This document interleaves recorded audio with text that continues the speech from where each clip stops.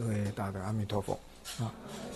我们今天继续来研究这个《观经四帖书》，上次介绍到观音菩萨观、观音观，但是呢还没介绍完，所以呢我们把这个经文呢再念一遍，八十八页啊，课本的八十八页最后两行：佛告阿难，即尾提西，见无量寿佛了了分明矣。次亦因观观世音菩萨。此菩萨身长八十万亿那由他由旬，身紫金色，顶有肉髻，相有圆光，面各百千由旬。其圆光中有五百化佛，如释迦牟尼；一化佛有五百化菩萨，无量诸天以为是者。举身光中五道众生一切色相皆于中现。顶上毗能前摩尼宝以为天冠。其天冠中有一立化佛，高二十五由旬。观世音菩萨面如阎浮檀金色，眉间毫像被七宝色，流出八万四千种光明。一一光明有无量无数百千化佛，一一化佛无数化菩萨以为是者，变现自在满十方世界。必如红莲花色，有八十亿微妙光明以为璎珞，其璎珞中普现一切诸庄严事。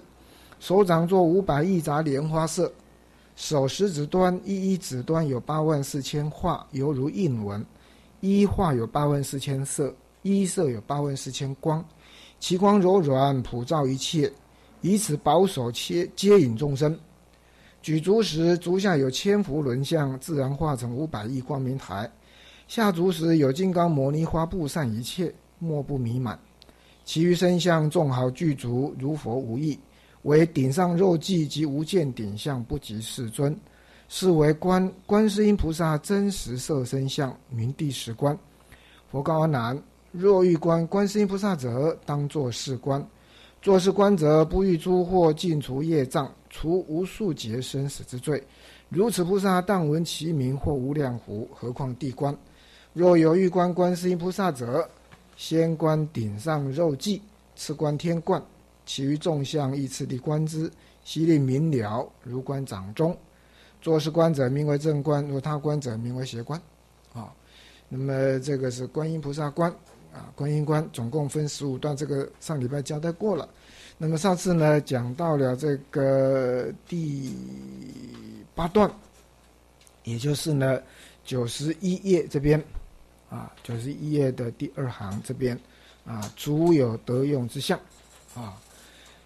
那么先交代一下，介绍观世音菩萨的，其实在显教、密教各个经论里面呢，很多地方都有啊。那么之前呢，呃，早期大概在七八十年，民国七八十年那时候呢，这个老老上金光老上呢，有提倡呢，叫所谓的观音三经，就把我们显教里面的经典，有关观音、世音菩萨比较有名的三部分呢，把它集合在一起，一个就是呢。华严经四十华严的观自在菩萨章，一个呢是法华经普门品，观世音菩萨普门品，啊，一个呢就是呢楞严经，观世音菩萨耳根圆通章，啊，那么他把这三部分呢就放在一起，称之为观音三经。其实介绍观世音菩萨的不只是只有这三经，譬如我们这边观无量寿经也是一观呢，也是一部分。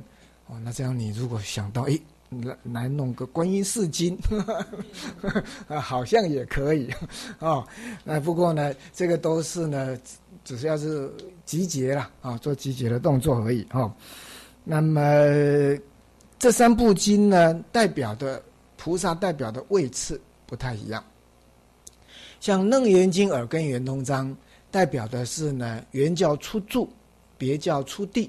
刚刚证得圆通境界法身大士的第一个位次，原教诸住啊，别教出地，也就是呢，刚破一品无名，证一分法身，观世音菩萨耳根圆通章，楞严经代表的。那么，如果是呢，四十华严观自在菩萨章，它所代表呢也是原教，但是呢是七回向位，十回向里面的第七回向位。那普门品。啊，普门品，观世音菩萨代表的是等觉位，啊，等觉位啊，所以这个跟观经里面观世音菩萨所代表的，那也是等觉位，而且呢，它也算是一生补处菩萨，啊，也就是说呢，阿弥陀佛如果视现涅盘之后，接着就是观世音菩萨啊成佛啊，所以呢，这个是他们不同的经典代表了不同的位次哈。好，那么这个前面的这个七段呢都介绍过。那刚说了，上礼拜讲到这个第八段，足有得用之相。那么经文就是在八十九页的倒数第五行这边啊，八十九页倒数第五行，举足时足下有千佛轮相，自然化成五百亿光明台；下足时有金刚摩尼花布散一切，莫不弥满。这是从四相上面去说，观世音菩萨举足下足就是走路，啊，把脚抬起来，把脚放下去，那么各有它的庄严相。但是表法上面呢，那请你翻上礼拜的讲义。那如果你没有带来，或者是你没有，那你就看电脑这边啊。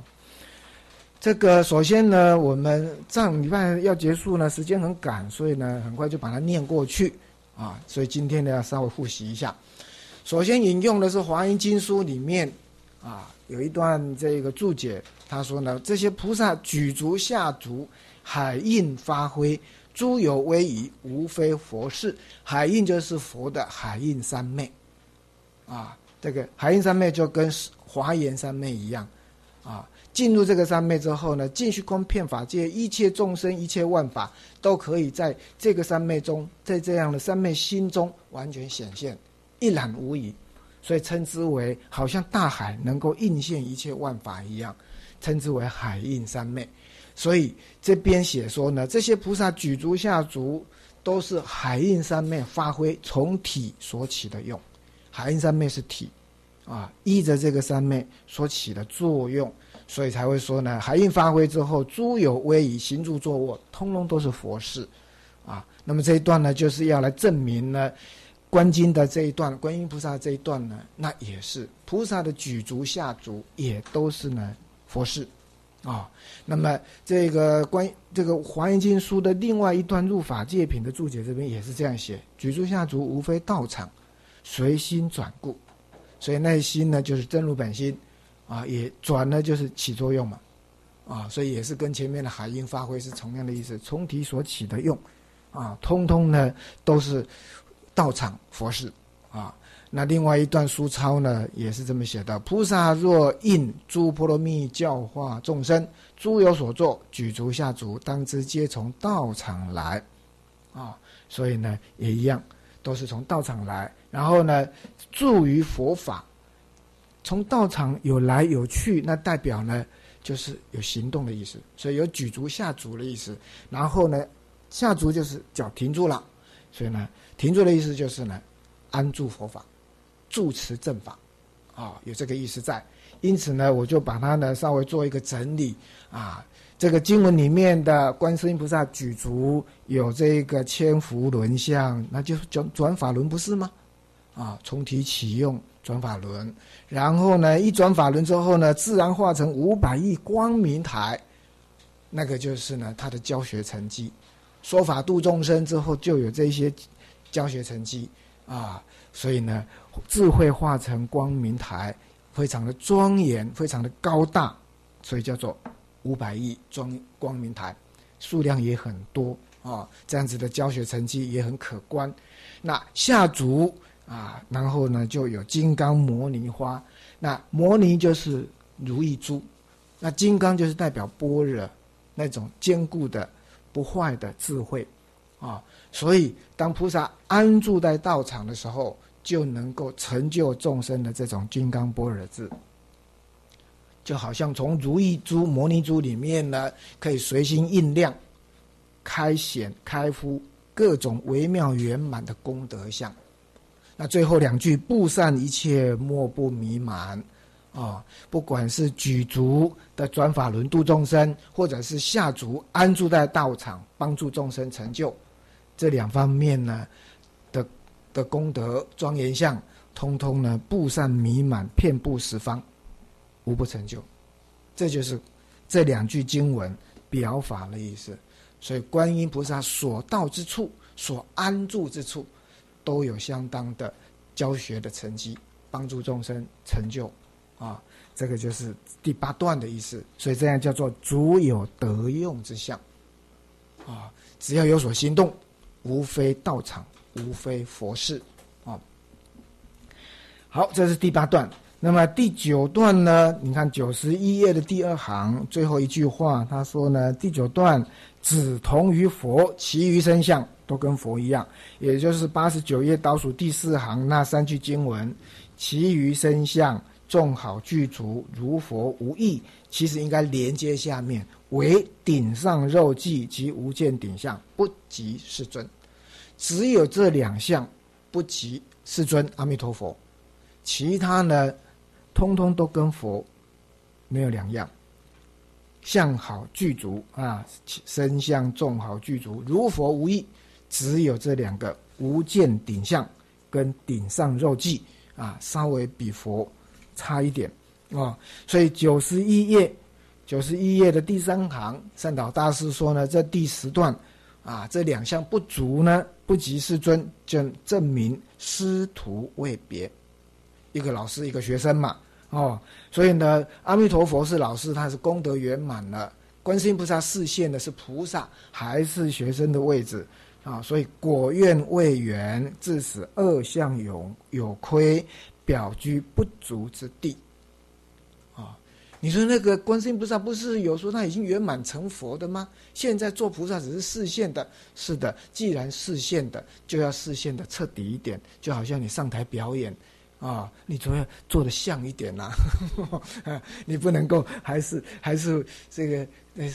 这个跟川普一样啊，上台可能就是一个大总统的样子哦，台下是一个哎大商人啊，哦，可能还是样子会不一样哦。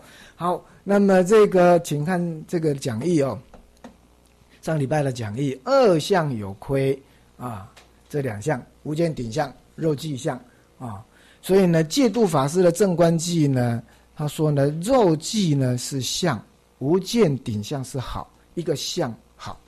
所以三十二相里面是肉际相，无见顶相是八十种好其中的啊。他先把这个相跟好先提出来，然后二相有亏，以列为亏，不是说完全没有。所以他说善导大师这边写的二相有亏，并不是说观世音菩萨没有，只是没有像佛那么圆满。所以经文写的只是不及而已啊。他就假设一个问答，那难道这个？只有这两项不足吗？既然要表演是不足佛啊，不及佛，余相应该也会不足列于佛相才对啊，啊，也应该比佛差。为什么只有这两项呢？啊，答：此二圣相师徒遥别，故别标也。就说这两个差特别多。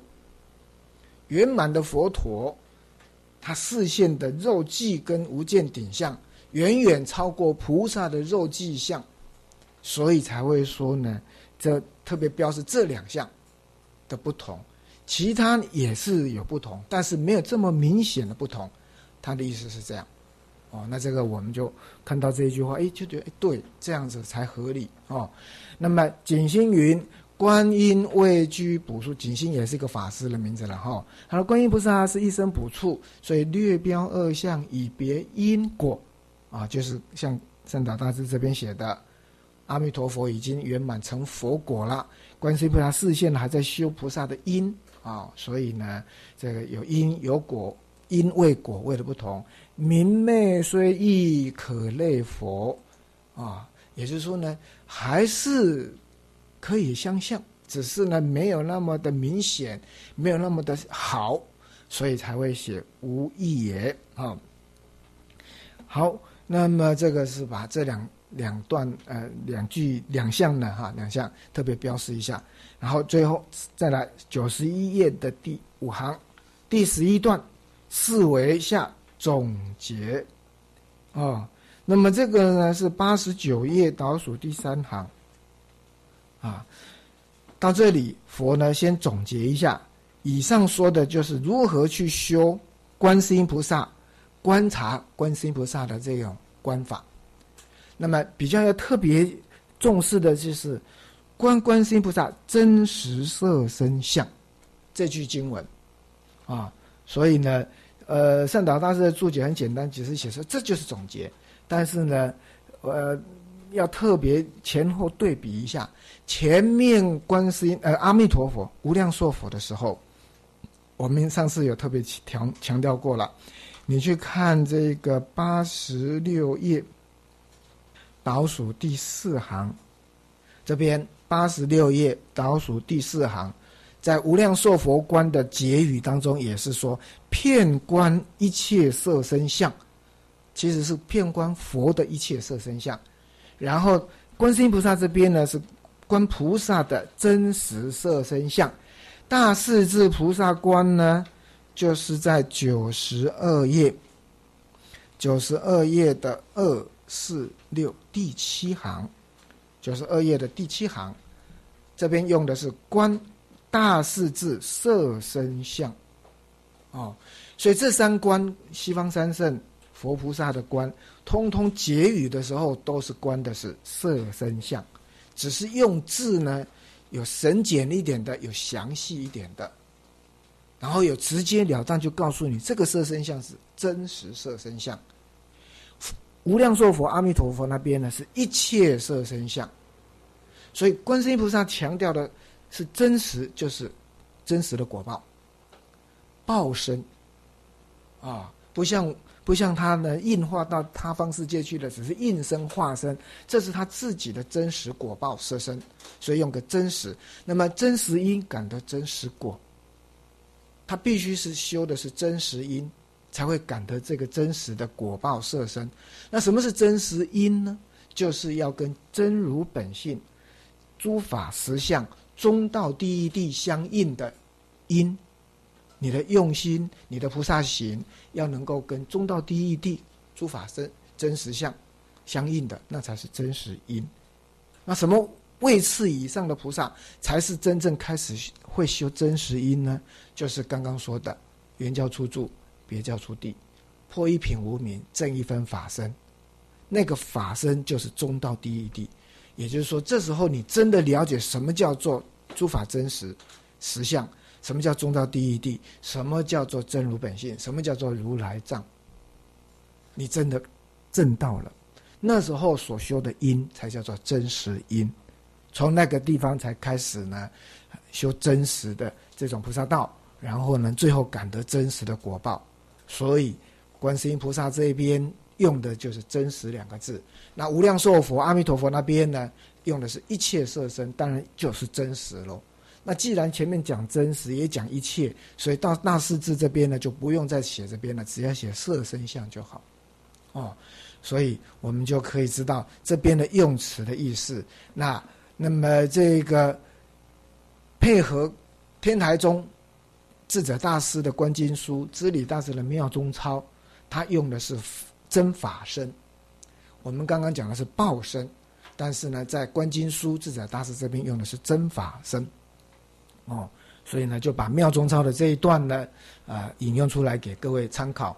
啊，他说呢，行者就是我们修观行的人，修观想念佛的人，关于观即毫面声色光明。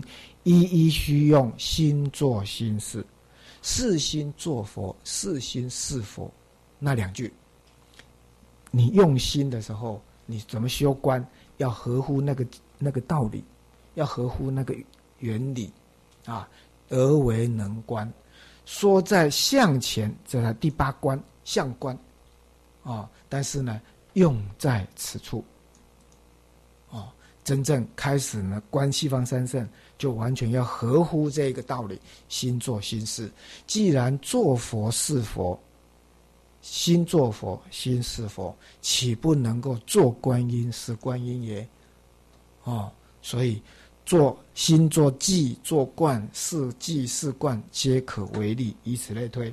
所以整个十六观通通都是妙观，用妙观才能够开显这种殊胜的真实相好。所以，以此妙观是见佛的根本，迥出于因，完全不是其他的因所能够比得上的。这样叫做迥出。这个因，这个因修这个因是最特别的。所以这彼土石速正法忍。所以为什么你能够这样修，在娑婆世界这样修，一往生到极乐世界，很快就是见佛闻法就悟得无生法忍？原因就是你已经有这个善因，有这个善根的因。啊，这是天台宗一直强调，在整部观音啊观观经书里面是这样告诉你。哦，所以呢，我们介绍这个观经的注解，是从圣导大师的四帖书开始，是比较合乎我们凡夫的状态，比较容易呢契入。但是你真的要深入这一个观经的话，那就建议各位以后呢要自己啊好好的想办法研究这个智者大师的书、智理大师的妙中操啊观经书妙中操哦，这是提供给各位做参考。好，回到这个九这个九十一页啊，九十一页第五行。以上那个是第第十一段的总结，第十二段呢，他说呢，从佛告阿难下到当作是观以来，证明从结前文生起后意，结前身后，哦，所以这个是第十二关。第十二关是哪里呢？就是呃八十九页的最后三行，最后三个字。佛告阿难：若欲观观世音菩萨者，当作是观。所以没这个经文，为什么圣导大师要另外做一段？他很简单的注解说呢：重结前文，生其后意。啊，生其后意。那后意是什么呢？后面的利益是什么呢？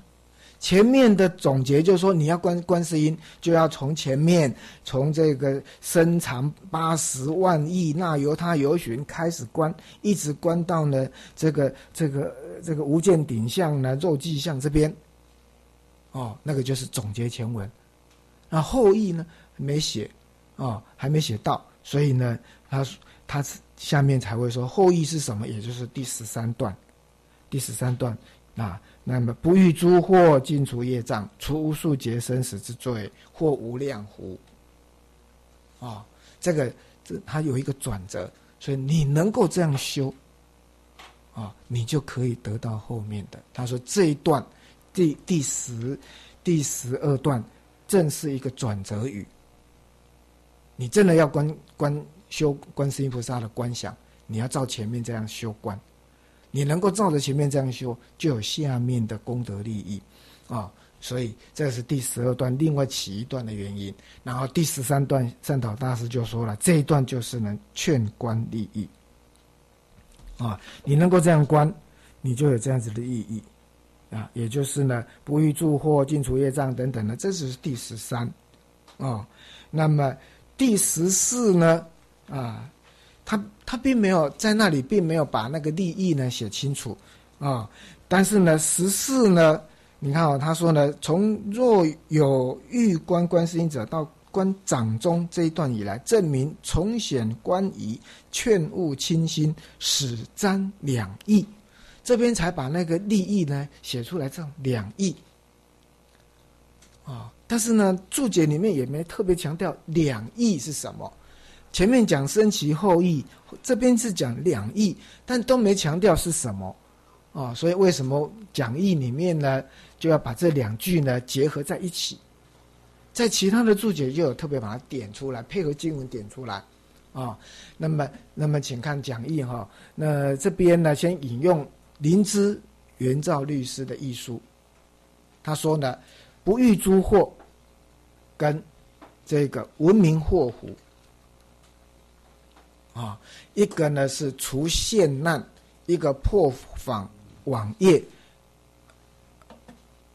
呃，它的它的分类，对不起，从这样看来，它的分类没有很清楚。传通记呢写的比较清楚，两义就是灭罪跟生善。然后呢，配合原原照法师的，他说他的灭罪分成两种，一个是灭现在的灾难，一个是灭过去的业障。他把灭罪再分这两个，哦，所以元照律师呢，并没有像善导大师这样特别写的两种利益，他只是说分成三个：一个除现难不遇诸祸；一个呢除无数劫罪是过去的业；然后最后第三个文文明或无量福，啊，这是元昭律师的解释。那传东记就配合善导大师的注解，两义一个是灭罪，一个是生善。哦，所以不欲诸祸，尽除业障这两句呢，都叫做灭罪，或无量福是生善。哦，或者是呢，把两义当成是现在跟当就是将来，现在能够灭罪障除罪啊，将来可以祸福，所以不欲诸祸尽除业障是现在的利益，除无数罪或无量福是将来的利益，或者是无量福也可以互通现在跟将来的，哦，所以这边呢，就是呢，他只是在做经文的注解。那我们如果不去强调那个注解，你注意看那个经文，释迦牟尼佛介绍完如何修观世音菩萨观，最后的结语告诉你说，你要好好这样修观，因为你能够做这样的观想，观世音菩萨的观想，不遇诸祸，尽除业障，除无数劫生死罪，你当下就可以。得这样子的利益，除罪灭障，哦，然后后面再补充说明，即使你没有这样的修观，只是听到观世音菩萨的名号，或无量福，更何况你还真正照这个方法，很很真心诚意的，很仔细的去修观，那当然得的福灭的罪就更多了。这是释迦牟尼佛讲。讲的在经文里面讲的，那你要仔细去看这个释迦牟尼佛非常的诚恳的劝我们要好好的去修这个，哦，那么对于这件事情呢，刚刚讲的观音三经里面就有类似的经文，像我们常常读普门品，很经文就很明显的可以知道呢，若有无量百千万亿众生受诸苦恼，一心称名，啊，观世音菩萨即使观其音声。皆得解脱。一开始就很明显的告诉你，众生如果受到苦难，一心称名，菩萨就能够加持你，让你免难。然后后面就列举这一些能免的难：火灾、水灾、罗刹、王、鬼、枷锁、怨贼。通常呢，这些七个的用词呢。不同的注解有不同的用词，但是原则上就是这七个，这样叫做免七难。再来离三毒，若多嗔欲，若多贪欲，啊，若多嗔恚，若多贪欲，若多愚痴，念观世音菩萨也能够离贪、离嗔、离痴，所以是离三毒。然后应二求就是求男求女，所以普门品呢就是总结这十二个：免七难、离三毒、应二求。所以很早很早以前呢，这个应该是是东南亚那边传出来的一种讲法，说观世音菩萨有十二大愿，我我很讶异，什么时候观世音菩萨跟跟跟药师药师如来一样有十二大愿？怎么找找不到经文证明观世音菩萨有十二大愿？后来突然灵机一动，会不会是这这十二个七加三加二？有没有可能是这样？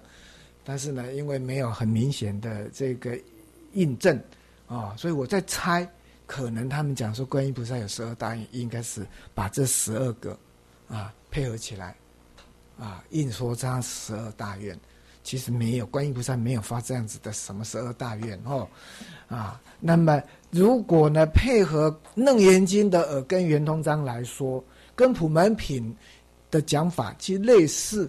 的内容只是呢，经文不太一样，哦，他呢，首先呢，去告诉我们说，观世音菩萨是修耳根圆通法门，他终于能够解六劫、正三空、正得圆教出处，所以正得圆通境界之后，就可以有三十二应身、十四无畏、四不思议无作妙等。那三十二应身在普门品里面，因以凡王身得度者，即现凡王身而为说法。那那个地方就类似《楞严经》耳根圆通章的三十二音，但是呢，到底是三十二还是三十三，那就是两本经算起来数目不一样。有人说三十三，有人用三十二。《楞严经》里面是三十二，《普门品》应该是三十三。啊，但是呢，通常都是讲三十二应。那十四无畏，就是呢，那刚刚的这个这个，呃呃，免七难离三毒应二求，再加上前面的称名无畏，啊，还有一个是，哎，哪一个无畏去了后？啊，总之呢，还多加一个，所以呢，也没有离开普门品里面的经文，只是普门品里面没有用这样的十四无畏。没有用这样的名词，但是在耳根圆通章里面呢，啊，就把它总结，就十四五位，刚好可以完全配合普门品的意思。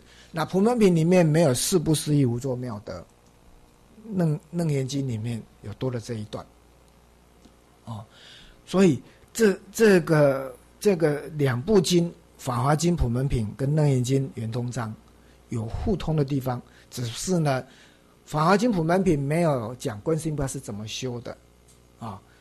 《楞严经》里面有讲观世音菩萨是怎么修的。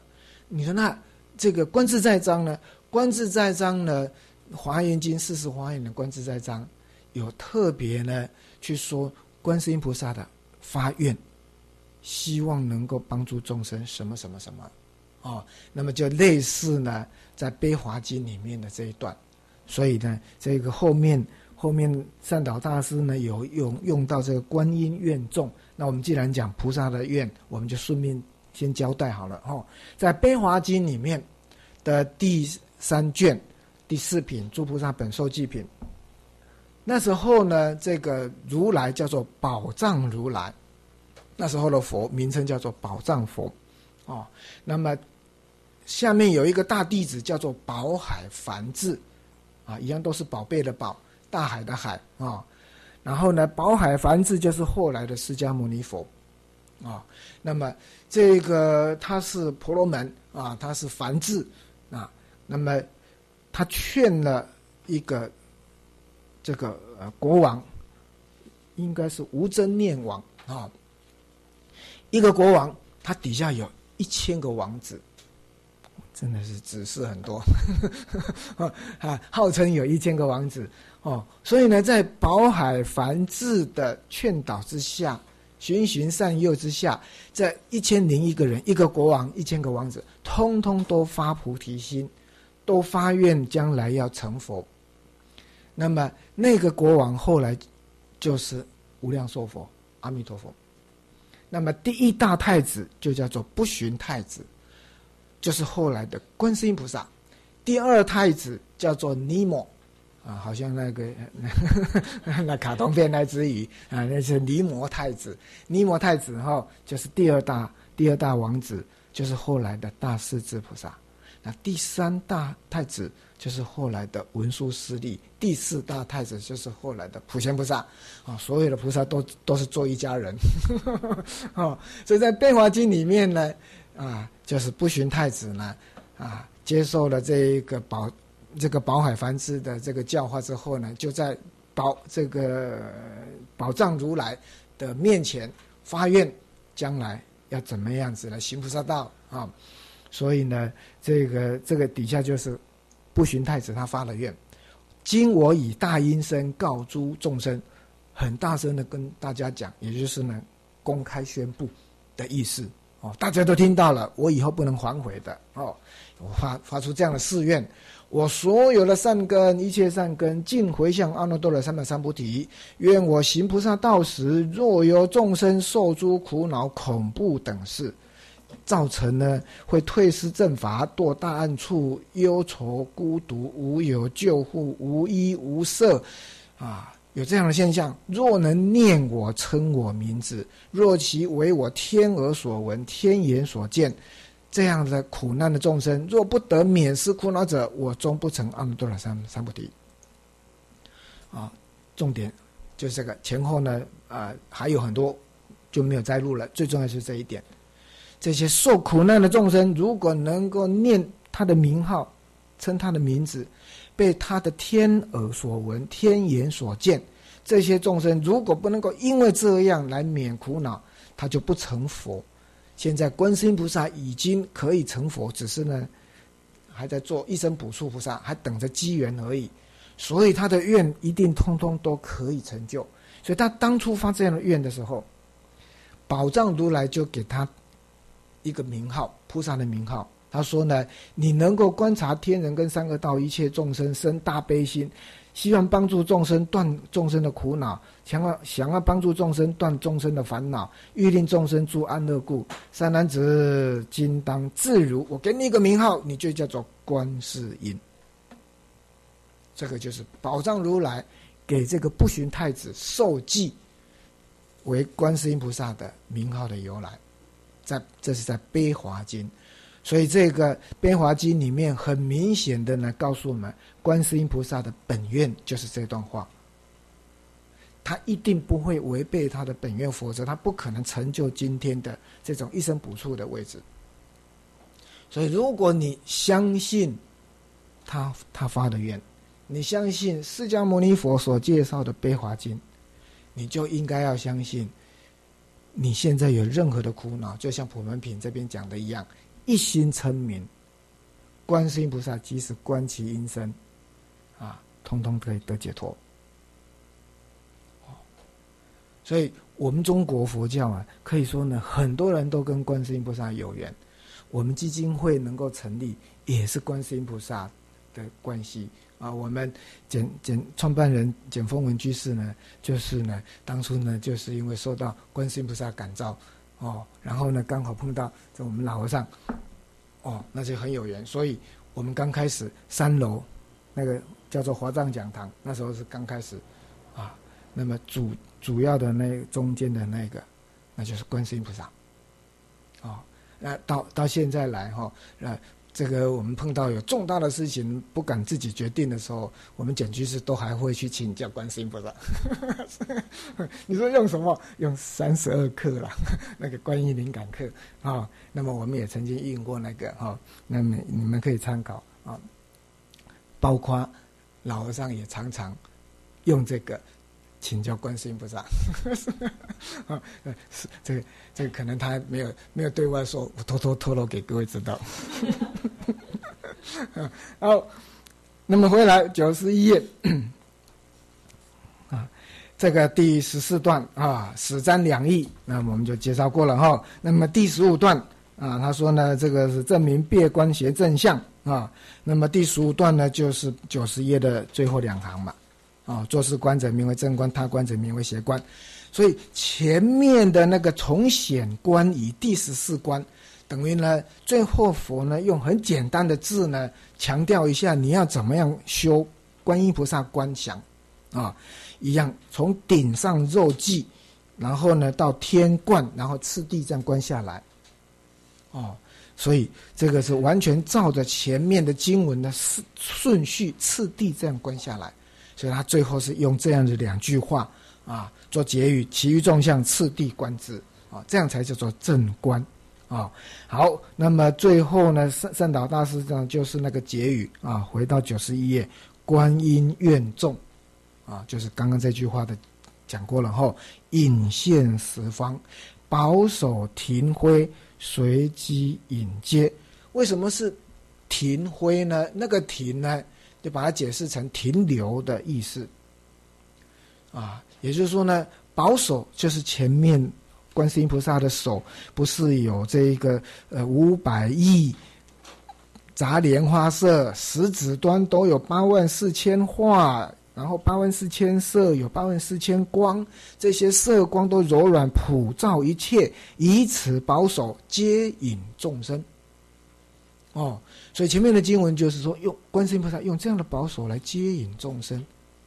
那你要接引众生，总要这样子停住，然后把它接上来。有一点我们在玩棒球，要接球，哦，停住，这样接到了，哦，所以呢，有这个意思，要停挥的意思，就是为了要接引众生，啊，要留住众生，把它接引到极乐世界去。就是呢，九十一页的第一行啊。这个以以此宝光之手接引有缘，啊，那么我们上次解释过，接引有缘呢，就是你真的，一心称名，有信有愿，就是有缘。然后呢，接引到哪里去？一者接引到佛道里面来，二者接引往生极乐世界。啊，以上这个就是观世音菩萨的观想啊。好。接接着进进入呢大势至菩萨观。我们把经文念一下：次观大势至菩萨，此菩萨身量大小，亦如观世音，圆光面各百二十五由旬，照二百五十由旬，举身光明，照十方国，坐紫金色，有缘众生皆悉得见。但见此菩萨一毛孔光，其见十方无量诸佛净妙光明。是故号此菩萨名无边光，以智慧光普照一切，令离三途得无上利。是故号此菩萨名大势至。此菩萨天冠有五百宝花，一宝花有五百宝台，一台中十方诸佛净妙国土广长之相。皆于中线，顶上肉髻如波头摩花，于肉髻上有一宝瓶，渗出光明，普现佛事。其余身相如观世音等无有异。此菩萨行时，十方世界一切震动，当地动处有五百亿宝花，一一宝花庄严高显，如极乐世界。此菩萨坐时，七宝国土一时动摇。从下方金光佛刹，乃至上方光明王佛刹，于其中间无数无量层数分身无量寿佛，分身观世音大势至，皆悉云集极乐国土，侧塞空中。这个是念侧，没有卷舌的吃啊，侧侧塞空中，作莲花座，演说妙法，度苦众生。作此观者，名为关键大势至菩萨。是为观大势至色身相，观此菩萨者，名第十一观，除无数劫阿僧祇生死之罪。做事观者不处胞胎，也就是说呢，这个“旦”字啊，要改为“做”啊。做事观者不处胞胎，常游诸佛净妙国土。此观成仪，名为具足观，观世音大势至。这里面光是看经文哈，你就觉得有一个有些地方很特别哦。你看喽，一开始介绍这个大势至菩萨，首先呢说，因为呢从他的毛孔光呢见到菩萨的一毛孔光，就见到十方诸佛的的光明，所以这个菩萨叫做无边光。另外隔壁才介绍，隔壁一行才介绍说他为什么叫大势至。他的这种智慧光普照一切，能够让三途就是三恶道的众生，当菩萨的光照到这个三恶道众生身上的时候，能够帮助众生得无上利，所以叫做大势至。所以他的智慧光明，看力量多大哦！这是第一个很特点。第二个呢，就是呢，他的这个天冠当中呢，有宝花宝台，然后每一个宝花台里面呢。可以看到十方诸佛净妙国土，通通都在这样的一个天冠的宝花台里面出现。哎，这也很特别。再来就是它的肉髻呢，如波陀摩花，波陀摩花是红莲花，哦，非常的鲜红，哦。可是呢，在肉髻上面有一个宝瓶，圣珠光明普现佛事。哎，这也很特别。啊，这就是呢，专门画大势至菩萨，他的肉髻上面呢要画一个宝瓶，然后要放光，不但放光，还会普现佛事啊。再来就是呢，这个菩萨跟观世音菩萨的走路一样，但是呢更麻烦，你从经文看更麻烦，他走路的时候就会震动，哦，然后呢坐下的时候也动，那到底这个菩萨是走好还是不走好？他走路也震动，是坐下来也震动，所以呢，这个大势至菩萨，你是是要走路好，是不要走路好？叫你不要走路，你坐下来，我们也震动；你走路，我们也震动。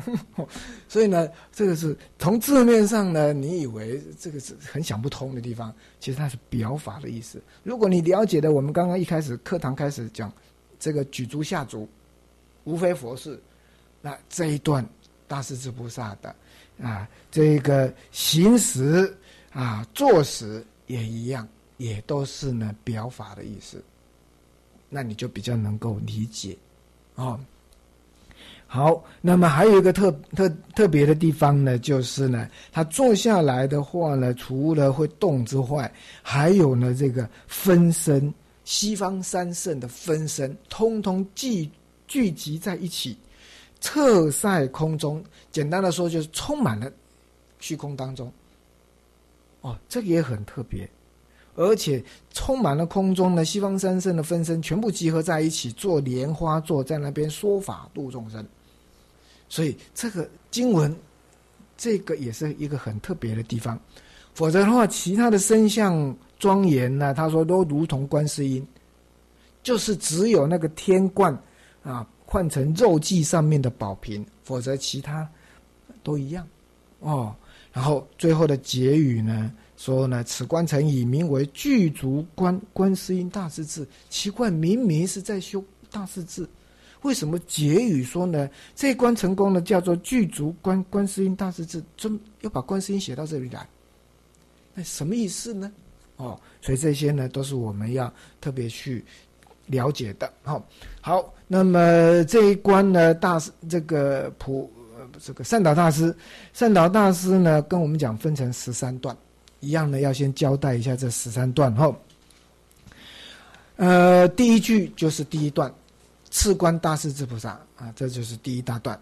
然后第二大段呢，两句而已，此菩萨身量大小，亦如观世音。所以这一这一段呢，特别在讲的就是大势至菩萨的身身量大小啊。第三段呢，就是讲他的圆光，就是头后面的那个圆头啊，脖子后面那个圆光啊。啊，到那个照两百五十由旬，就是这两句，圆光面各百二十五，照两百五十由旬，这是第三段。第四段呢，举身光明照十方国啊，这段长稍微长了一点。到哪里呢？到四故好此菩萨名大势至啊，这个呢是第四段，从举身光明照十方国到好此菩萨名大势至，这个是第四大段。第五大段呢，就是此菩萨天冠有五百宝花，到这个九十二页的第一行，皆于中线，这里是第五段。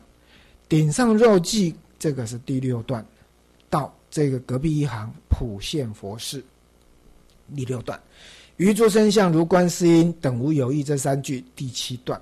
此菩萨行时啊，这个到隔壁如极乐世界。这是讲行的时候，这是第八段。那坐下来，此菩萨坐时，那是第九段。啊，一直到呢这个做莲花众，呃，做莲花座，侧在空中做莲花座，演说妙法度苦众生。啊，到这里是第九段。作此观者，名为观见大势至菩萨，是为观大势至色身相。这里是第十段。观此菩萨者，名第十一观。这两句是。而这三句到除无数劫阿僧祇生死之罪啊，这三句是第十一关。做事观者不处胞胎，到常游诸佛净妙国土的第十二段。最后那两句此观成矣啊，这两句是第十三段啊。所以呢，先交代一下这十三段哈。好，那么第一大段就是一样喽啊，是举这个。观观想的名，总举观名，就说这个开始要观大师之了。这是第几关？不要忘记第十一关啊。第八关是相观，第九关是无量寿佛观，真佛的真身观，佛身啊。再来是观世音第十，第十一大势至啊。所以呢，大势至是第十一关啊。然后呢，第二大段呢是身量大小。啊，这身量大小，这个完全跟观世音菩萨一样，那也就是呢，六十万亿那由他游巡，啊，也是那样子。那身体呢，也是紫金色，啊，那后面有写啊，身体也是紫金色，啊，所以这一段的经文呢，只有这两句：此菩萨身量大小，亦如观世音。但是呢，为了配合跟前面的观世音。做类比，所以善导大师呢也把它分成五小句。经文没有这么多句啊，它分成五小句就是要等同观世音。所以观世音菩萨那边有的，它这边也都要有，哦，所以它是这样的分法：声量等类观音，声色等类观音就是紫金色；然后呢，面相等类观音，声光相好等类观音，毫相疏光转变等类观音。哦，所以通通都是配合前面的观世音菩萨分来来的，否则经文没有那么多啊。所以，请看今天的讲义。啊，《传统记》里面呢，就告诉我们这些这个问题了。啊，他就假设一个问题，那是经文只有讲声量大小如观世音啊，没有没有第二以下的等类啊。他回答：圆光以下说其不同。啊，所以呢，经文的圆光面各百二十有形是跟观世音菩萨不一样的，除了这个不一样之外，其他都一样，音同观音。更何况下面的经文还有特别写的“余诸身相如观世音”呢，在第第七大段里面有这样的经文呢。哦，所以为什么善导大师要把它这个小句第二大段里面的小句要变成五小句，就是因为这样等同观音来的。哦，那用个等类观音，哦，他特别加以解释，观音的身光现五道，但是呢，大势至呢就没没有没有完全一样。还是有不一样的地方，但是同照法界，经文没有写现五道，但是有写照法界，所以呢才会说呢，不是叫做等同，而叫做等类，类似，没有完全一样，但是类似，哦，所以这个也是用词特别不一样的地方，传统机给我们点出来，啊，善导大师用的是等类观音，没有说等同观音。类似而已，没有完全相同啊。所以这个等类呢，去查字典呢，就是有这几个解释啊，可以相同，但是也可以是同类啊。所以照传统记刚刚的解释呢，只是说，诶，同类、类似、同类，并不是完全相同哦。所以等类呢，也有不同的解释了哈。那妙中抄里面，他就不客气了，就说呢。这个声量大小皆悉同等，啊，他说呢，大势至跟观世音声量大小是同等。此令行者变异之后，用观音观去观四字身，所以你不需要再另外写。前面如何观观世音的，你就可以用这样的声相去观观世音。啊，这是妙中抄的。那唯一不同的就是呢，经文有写出来那些不同。那哪些不同呢？第接下来就讲了第三段啊，再回到课本九十二页，最后一行，圆光面各百二十五由旬，啊，所以他说呢，这个就是呢圆光等不同观音之相，啊，不同的地方在这边标示出来。第一，圆光大小，你说那观世音菩萨圆光是多大呢？那你对照八十八页最后一行。这是观世音菩萨的圆光是面各百千由旬呢，有时候到千呢。现在大势至才特别强调啊，只有一百二十五，然后照出来的光是两百五十，连千都没有，小了一点啊。那我们这么说啊，这个在弟子里面他是老二，观世音菩萨是老大，所以总要小一点啊，有这么有这么一点点差别，然后。所以回到九十三页，啊，第一个圆光的面小一点，光照的远近一百二十五乘以二，变成两百五十，哦，所以这个光照远近也没有很远，好，再来画佛多少，画佛逝者多少，你回到那个经文看九十一页。哪里有画佛多少跟画佛逝者多少？没有这两颗啊，经文没有啊。为什么善导大师有这两颗呢？哦，所以这个请看今天的讲义啊。首先先讲这个圆光不同，后面再讲画佛画画逝者多少啊，这样两段啊。所以呢，我们先把经文列举出来。圆光呢是各两一百二十五兆。两百五十，观世音菩萨圆光是面各百千由旬，所以呢，在《易书圆照》林芝林芝圆照律师的《易书》里面，他说呢，如果一一百二十五由旬换算成中华的里呀，乘以四十，一由旬四十，那就是五千里。五千里换算成公里，两千五百公里，那也很很广了。但是这个是光的体，所以两百五十由旬是倍之再一倍，那是光的用。所以呢，元照律师呢，他只是写一百二十五由旬是光体，他只是要写照则倍之。但是呢，到了戒度法师的正观记，他就有说这个照是光的用，一个光体，一个光的用。哦，所以等于一个是长光，一个是神通光放光，你也可以这样看。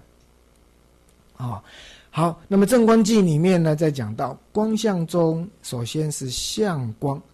经文写圆光啊，这边呢就给它改一个字，叫做相光，就是头跟脖子这边的这样叫做圆光，也叫做相光啊。然后呢，观音是百千由旬，所以多少不同者，为什么观音菩萨会比较殊胜呢？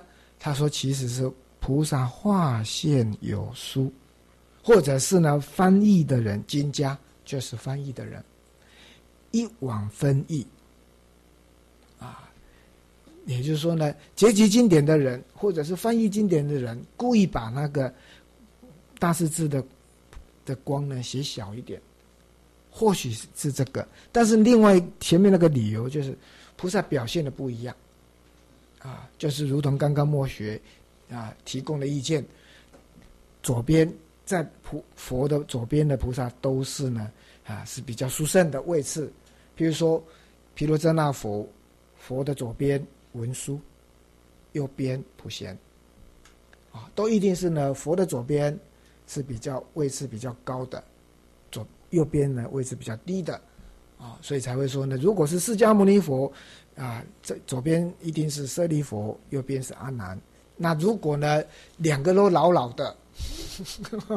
那左边一定是迦舍，右边是舍利佛，因为呢，迦舍毕竟位置比较高一点，这样子哈，所以呢，有这样的一个意思在吼，所以呢，左边都是比较殊胜啊，所以呢，他才会说化现有殊啊。那么再来看正观记哈，照是光用，刚说了前面呢是光体，一百二十五由旬是光体，两百五十是光的用，所以备之。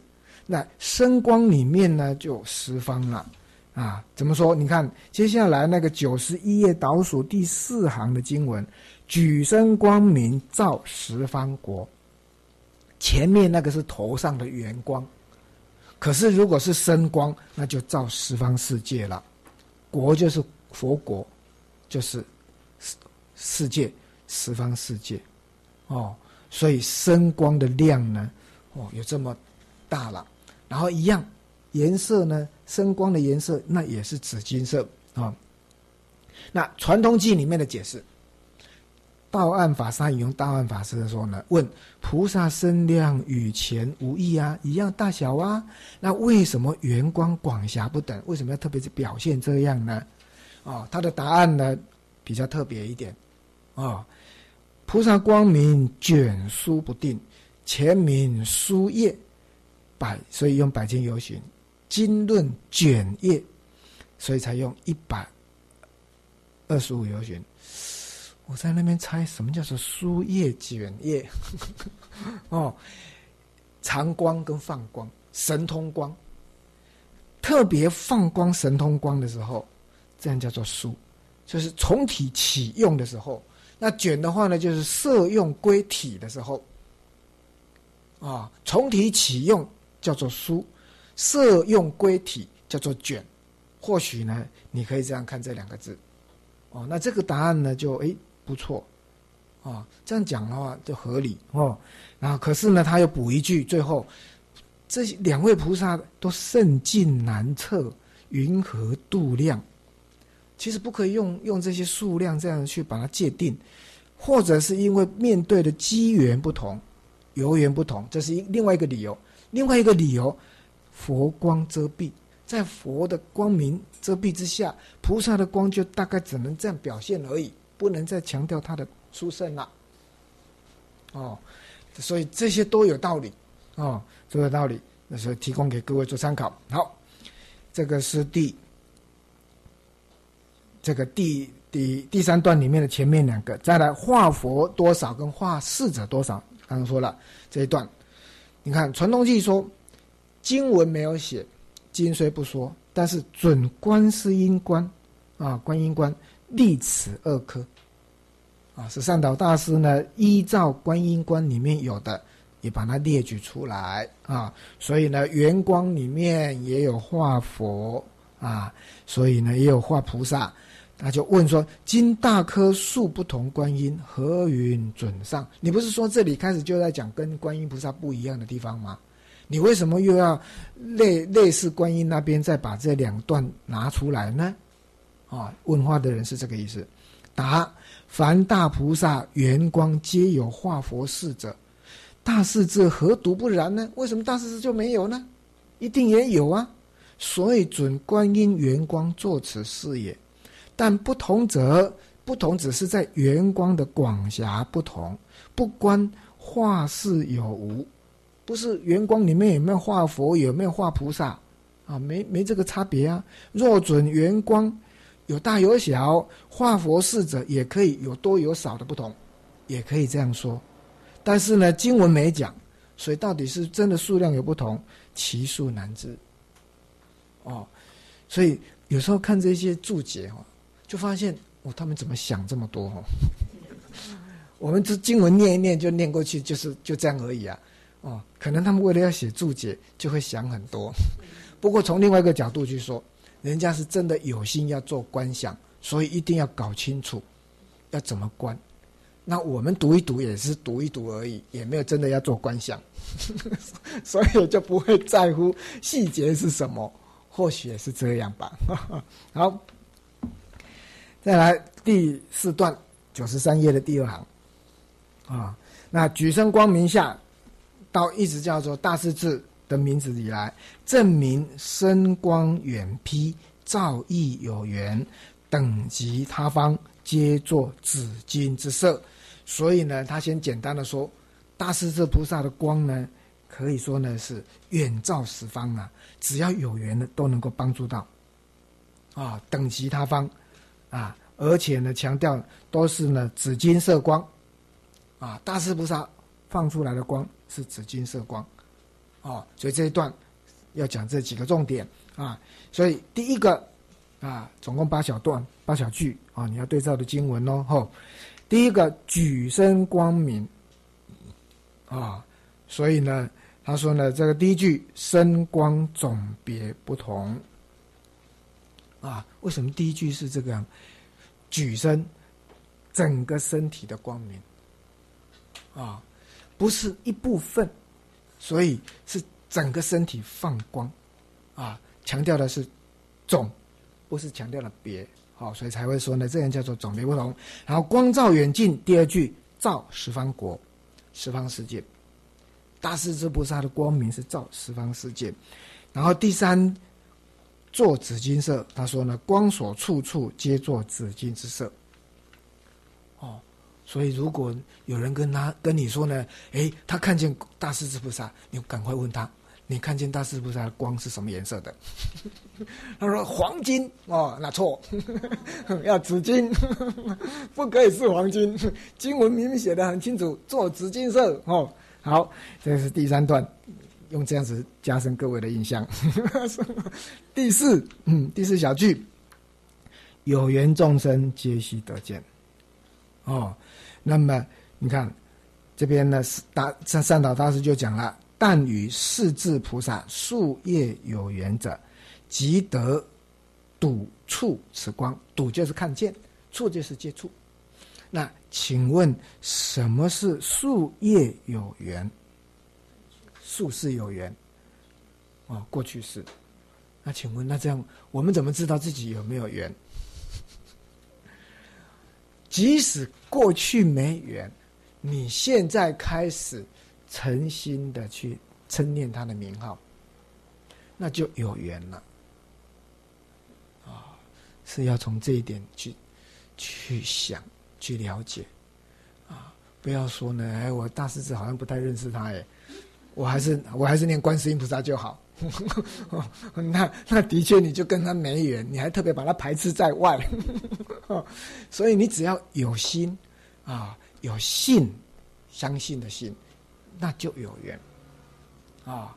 所以你求观世音，以此类推，求大师子也一样的啊。那只是说在你的内心，术是真的，我们还是跟观世音菩萨有缘，所以念起来就感觉很亲切啊。那就是代表真的是术士有缘啊。但是呢，我曾经在基金会呢碰，曾经碰过一个、两个，到目前好像碰过两个哦。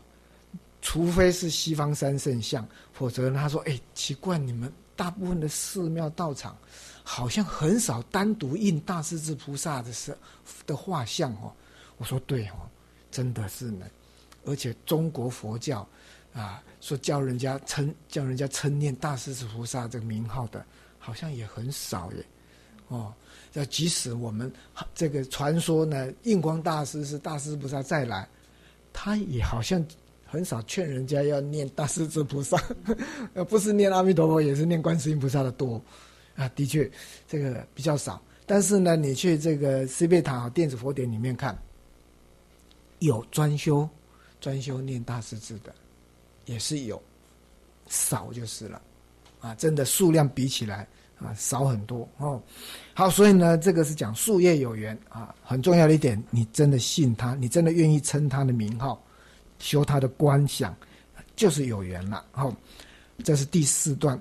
再来第五段，但见一毛孔光，即能多见诸佛净妙生光。此即举少以显多义。欲使行之者，就是修这样的观想的人，就叫行之者，悉心可养，入观以正之。哎，这个这一段的注解。圣导大师就用很多文字哦，因为那个经文很特别啊。你看九十一页的最后三行，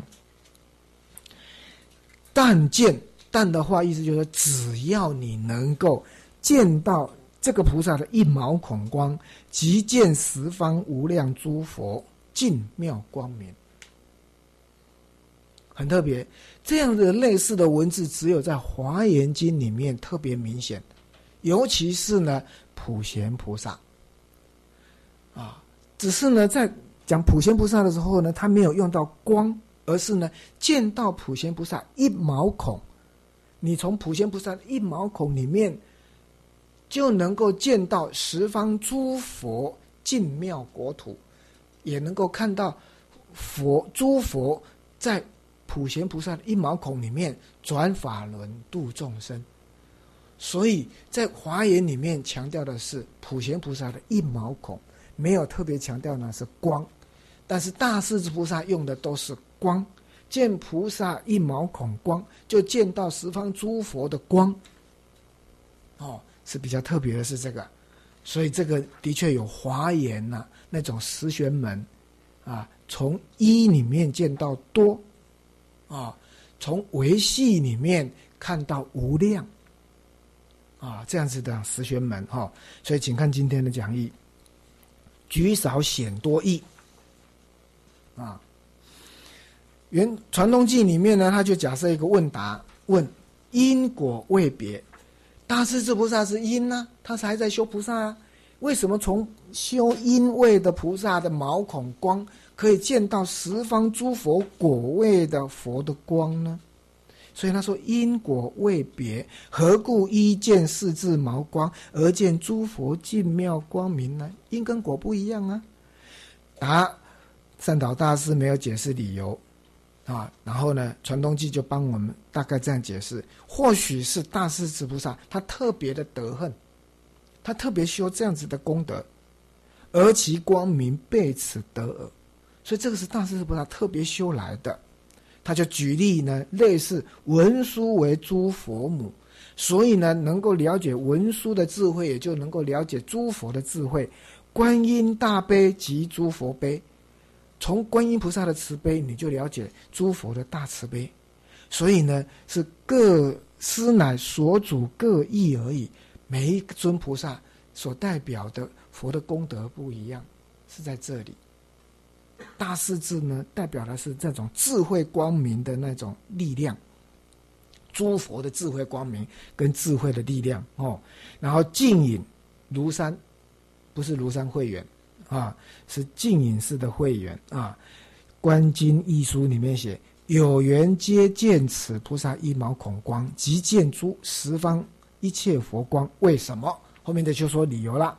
以此菩萨与一切佛。法身体同，同一法身，主要是这个，啊，直截了当就告诉你，理由在这里，同一个法身，故见此光即见诸一切诸佛光。戒度法师的正观记也这么说：有缘者，这个缘就是术士的善种，谁不具之？大家都有，但身熟意耳。刚刚墨学就是从这个角度切入。大家都有这个种子，大家都跟观音菩萨、大势至菩萨结过缘。哦，只是呢，生跟熟。那我们现在开始呢，很用心的、很诚心的去称念大势至菩萨名号，就开始跟他的缘就越来越深、越来越深、越来越熟、越来越熟。跟阿弥陀佛也一样。啊，即使我们术士可能跟观音菩萨比较有缘，但是呢，跟阿弥陀佛的缘也是如此。哦，你今生一直修他的法门，你就跟他越来越熟了。哦，好，后面呢？他说：“金云进妙国土，为什么十方诸佛的光明要特别强调的是诸佛的进妙光明呢？啊，那个光明就光明，为什么要强调进妙光明呢？这里面有含义。看到佛的光明，或累就尽，或呢就是无名烦恼就能够断干净了。”然后呢，了解性德本具，所以叫做妙。所以形容诸佛的光明呢，是净妙光明。从大势至菩萨的一毛孔光进去，简单的说，如果你称念大势至菩萨名号，能够念到一心不乱，就像我们念佛法门里面讲的，你能够念到一心不乱，也就能够见到。诸佛的净妙光明，因为就是你自己的心真如本心的清净心，微妙的清清清净心现出来的光明。因为法身体同啊，圆照律师就是有这句话：修此观者即有缘人。我就是从这边切入的，所以后面那个黑黑黑比较黑的小字的，我是补充说明而已。具真信、诚心修观念佛者，啊，后面多一个念佛，啊，为什么念阿弥陀佛？那也是跟观音菩萨有缘，因为跟他的老师、跟他的本尊有缘，当然跟他有缘了，对不对？因为你往生到极乐世界去啊，你听阿弥陀佛说法，啊，观世音菩萨、大势菩萨都在旁边，因为那两大邪士，哦。所以这个是呢，念佛也跟大势菩萨是有缘的。好，这是这个是第这个第四段里面的第五小段。再回到九十三页，啊，九十三页的二十五第五行最后两句，第六小段，明依光以利民；第七小段，明光之体用，即无漏为体，故名智慧光。又能除习十方三恶之苦，名无上利，即为用也。第八小段，明大势至者，此即一德利民。所以你的第六段呢是一光利民，第八段呢叫做一德利民，第七段呢是讲光的体跟用。所以两个重点，一个是一光利民，一德利民；一个是光的体用，体呢是无漏为体。无漏就是没有烦恼的，啊，所以没有烦恼代表智慧，啊，无漏智慧，所以才会叫做智慧光。用呢，能够帮助众生三恶道，尤其是三恶道。为什么三恶道？经文写的很清楚啊。你看九十一页倒数第二行，智慧光普照一切，令离三途得无上利。三途就是三恶道。让众生能够离开三恶道的苦难，得无上利，无上力就是佛的实力，能够得到佛的实力。哦，有的注解是这样注解，善导大师呢，他不是这样注解，他是说呢，除十方三恶之苦，就叫做无上力了。不同的注解，然后，但是这个就是用体是无漏，用的话呢，就是最苦的三恶道、地狱的苦都能够除掉。这个是大势至菩萨的智慧光的用。哦，所以从这边呢，你就可以发现大势至菩萨也是非常的了不起。啊，那一德一光立明这一段，我们看一下讲义。元照律师的译书里面，他说呢：初从光立民，二从威势为明。他用的是威势，那我们善导大师用的是德。啊，一个是光，一个是威势德。啊，那以光照众生，拔苦与乐，从威势得名，就是离苦，当然就得乐了。所以这一段离苦得乐的就叫做威势得名，能够拔苦与乐，威势得名。那无上力就是佛的实力，就是从这边来的。圆照律师的注解啊，那戒度法师的正观记得名菩萨得名里面啊，因一孔光见诸佛光者，因果虽异，内证是同。补充说明前面那一句一样，内证就是法身呢。大势至菩萨也是正得法身呢。哦，所以为什么可以跟诸佛一样？哈，第二，言拔语啊，拔二十苦，语就是给予三德的乐。哪三德？法身德、般若德、谢托德。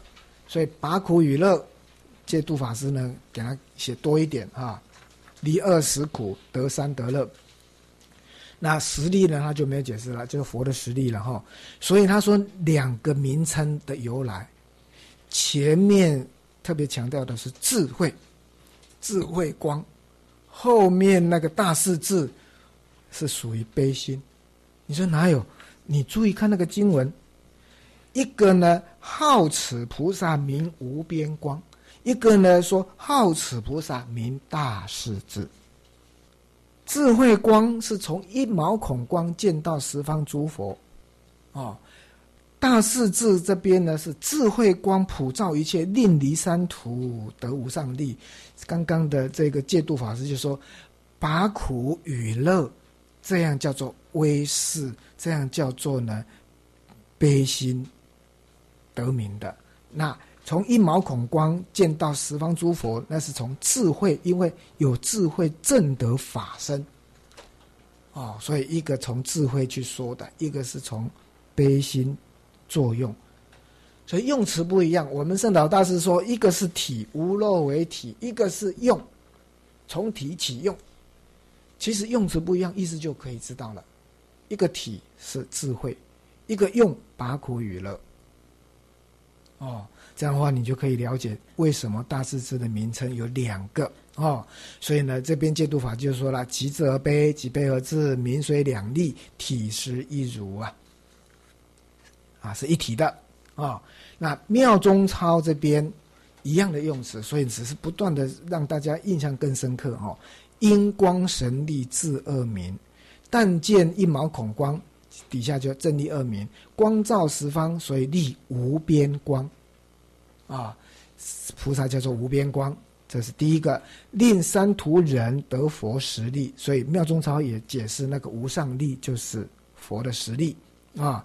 故立大势至为名，行者应知举即举生光，名智慧光，以是临极色心不恶。什么叫做临极？最后一段的那个比较黑的小字。临极就是临接极果之位，就是等觉位。到成佛是差一点点，就在成佛的隔壁，这样叫做临极。所以大势至菩萨的智慧呢，已经接近佛了，这样叫做临极。那佛的智慧是表现在哪里？回回过去妙中抄啊的那个这一页的第四行哦，色心不恶。大势至菩萨所证得的，已经快跟佛一样，色心不恶了。如果不是这样，怎么能够呢？它也叫做色身相，也叫做法身。观大势至的色身相，就是观他的法身，真法身哦。那么这个后面这一段呢，是特别呢，再把这个《悲华经》里面啊的那个本，它的本本地呢啊讲一下。你看，宝藏如来受记第二王子尼摩，就在这里啊，尼摩太子啊，就叫做德大士，这是另外一个名称，德大士。不同的经文你会看到这个。那就是大士字，那么他自己的发愿呢，很特别的，啊，令我国土及菩提树，将来我成佛，我我的净土里面，如观世音所有世界种种庄严宝菩提树，即成阿耨多罗三藐三菩提。我成佛时所做佛事，世界所有种种庄严，波涅盘后正法注释，如是等事，悉如彼佛等无有异。彼佛就是指观世音菩萨所成就的佛。哎，这个太子有一点偷懒，他发愿说：“呃，一切都跟我大哥一样。”哦，观世音菩萨如何发愿的？将来成佛一样什么样的庄严？我全部都跟他一样。讲白一点，白话一点，简短一点，就这样，有一点偷懒，哦，他就不需要再另外发愿了。所以以此类推，观世音菩萨发愿不是说特别强调，如果众生苦难，称念他的名号，被他的天耳所闻、天眼所见，都能够离苦得乐吗？大势至菩萨应该也有这样的功用，也有这样子的愿，否则他怎么样的跟观世音菩萨都一样呢？哦。所以不要以为只有念观世音菩萨能够离苦得乐，念大势至菩萨也可以。哦，所以呢，如果有人呢，你周遭有道道友啊，这个莲友呢，内心在那边矛盾，我内心比较跟大势至有缘，但是呢，老和尚一直叫我们要念要念阿弥陀佛，啊，偶尔也会劝我们说在家念观世音。从来没提过要多念大势至，这样我还要不要念大势至呢？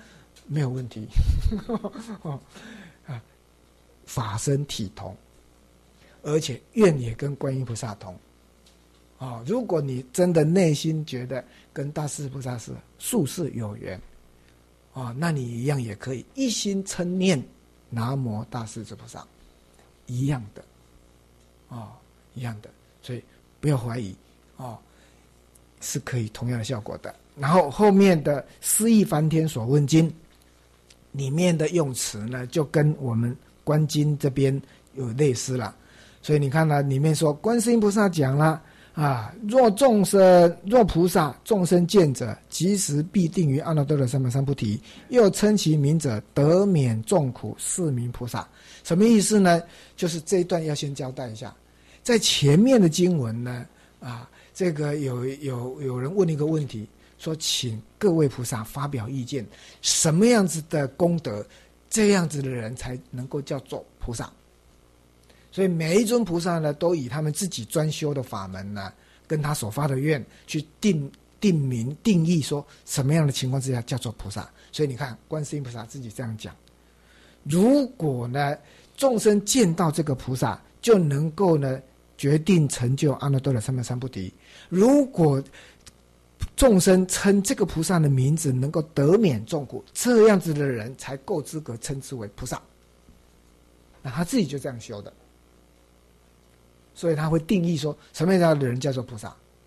众生见到他决定成佛，众生称他的名字决定得免众苦，这样子的菩萨才够资格称为菩萨。那得大势至菩萨怎么说呢？菩萨所投足处。震动三千大千世界及魔宫殿，这样子的人才够资格称之为菩萨。一搞还说在弄爱叮叮叮当，叮当，意思就是讲爱爱 做轰动的对吧？菩萨所搞的所在拢爱做轰动的，哦，要这样啊！这个是我们把它啊讲那种类似像好像在演布袋戏这样，实际上它的表法的意思是什么呢？要能够震动三千大千世界跟魔宫殿，就是要震动众生的无名。魔宫殿就是邪知邪见。凡是菩萨所到之处，菩萨的无名都要被翻动、翻开来，所有的邪知邪见通通不见了，因为魔都吓跑了，啊，所以呢，就这些邪知邪见通通没有了。这就是菩萨所到之处，通通都要有这个效果，才够资格称之为菩萨。哦，所以这两段呢是经文原来的经文。各位如果去看其他的注解呢，他不会把原来经文列举出来，只会说大势至菩萨为什么叫大势至？因为菩萨所到处就震动三千大千世界，所以它叫做大势至。其实本来的经文是这样，哦，这个只是把原来经文提供给各位做参考啊。你去看别的经、别的注解，你就知道哦，原来根据这里哦。好，回到九十三页啊，还有几分钟啊，我们把它稍微。多讲一点，第五大段，菩萨天观，啊，九十三页的倒数第七行这边，他说第五大段是从菩萨天观，那经文在哪里呢？就是九十一页的最后两行，最后三个字，此菩萨天观，啊，就是那个上面的帽子，有五百宝花，一一宝花有五百宝台，一宝台里面。可以现出十方诸佛净妙国土之相。其实这段的文字呢，就跟前面的一毛孔光见到十方诸佛的净妙光明一样。前面强调的是法身体同，这边强调的是相。你看十方诸佛净妙国土广长之相，也就在菩萨的天观里面的宝花台里面就出现了。哦，所以这个是很特别的，啊，观音菩萨那边都还没有特别强调这样的功德，到了大势至菩萨，光是到这里就两段话，都一直强调的是，从他这里面就可以看到十方诸佛的这些体跟相。哦，那难道观音菩萨不行吗？当然可以，所以两位菩萨的观啊的经文呢，强调的点不一样。前面你看，观音菩萨强调的是圆光里面有什么六道众生、五道众生，哦，所以强调的那种慈悲。但是呢，大势至菩萨强调都跟佛有关，都跟那个最就近的佛国有关。从光里面看到诸诸佛的净妙光明，从宝冠的宝花台里面看到诸佛的这个净土的广长之相。哦，所以这里面呢，我们就可以知道大势至菩萨这个名号呢，就有它特殊的含义，特别强调的是跟佛一样。哦，好，我们先休息一下十五分钟后，八点十五我们再来上第二堂课哈。好，我们第二堂课来开始啊。那么刚刚讲的第五段啊，九十三页中间这个第五段啊，善导大师说，从这一段下面啊，是证明天冠。庄严之相与观音不同，即有其四，有四小句。第一小句，冠上宝花多少，就是五百宝花。再来呢，明一一花上宝台多少啊？五百宝台。第三，一一台中应现十方诸佛净土啊，就是九十一页最后一句话：十方诸佛净妙国土广长之相，皆于中现啊。这是第四小句。也是三岛大师说呢，是明他方土现，彼此都无增减，都在宝台里面现出十方诸佛净妙国土广长之相。为什么要用彼此都无增减呢？啊，请看今天的讲义哦。传宗记跟我们解释啊，他说彼呢是指此土，此呢是隐现。啊，数无增减，为宝台中无土不现。也就是说呢，在大势至菩萨的天观当中的宝台，啊，那个彼土啊，本土那个就是彼啊，这是本土。此的话呢是引线啊，所以呢，他说呢，这个金云皆于中线皆言所表。此宝台中皆摄尽十方净土，是故本土不增，现土不减，没有增减啊。本土不增，现土不减，所以这样叫做无增减啊。其实我觉得他这样的注解呢，其实不是看得很懂啊。应该说呢，花没有变大，土十方净土，诸佛的净妙国土。没有变小，这样的彼此都无增减，这样会比较好懂。不是为了这个花台里面有十方国土，所以那个花就或越来大，越来越大，越来越大，不是这样。没有变大，十方净妙国土要绕入到这个宝花台里面，国土不需要变小，这个才是呢善导大师他的意思啊。这个彼此都无增减，也就是呢，《传统记》里面的这一段话：“宝台中摄尽十方净土。”啊，那么下面的问答更能够表现这个意思。他说呢：“净土弥宽，宝台最窄。宝台这么一点点啦，十方佛国土净土很很宽呢，整个三千大千世界也，起一个宝台能够包容十方呢？”怎么可以这样子呢？答：若曰迷事，也说我们凡夫在事相上，如果是迷惑颠倒，的确呢是大小永隔，大就是大小就是小，不可能小中现大啊，不可能的。所以呢，大小是永远是不一样的。可是如果是悟尽，如果你悟了，相容无碍。哦，所以就引用《维摩经》里面的这段话。啊，在维摩结长者那个房间里面，啊，就可以容受啊八万四千个高广的那种法座，啊，那不但是房间没有变大，是整个毗利耶城也没有跟着变大，又于阎浮提聚落城邑及四天下诸天龙神龙王鬼神宫殿亦不破宅，啊，那。他举的例子呢，没有很明显的把经文写出来，就是呢，《维摩经》里面的啊，就是，哎，舍利佛啊，跟着文殊菩萨，还有这些大弟子呢，就跟着文殊菩萨，还要去呢维摩诘居士家里啊拜访，哦，然后呢，去到那边呢，这个进去之后呢，舍利佛看见，哎，啊，怎么空空荡荡的，连座椅都没有。哦，我维摩诘居士马上就知道，说，请问大阿罗汉尊者，你是为法而来，还是为了座位而来？哦，你是要专门来叫坐小啉茶哦？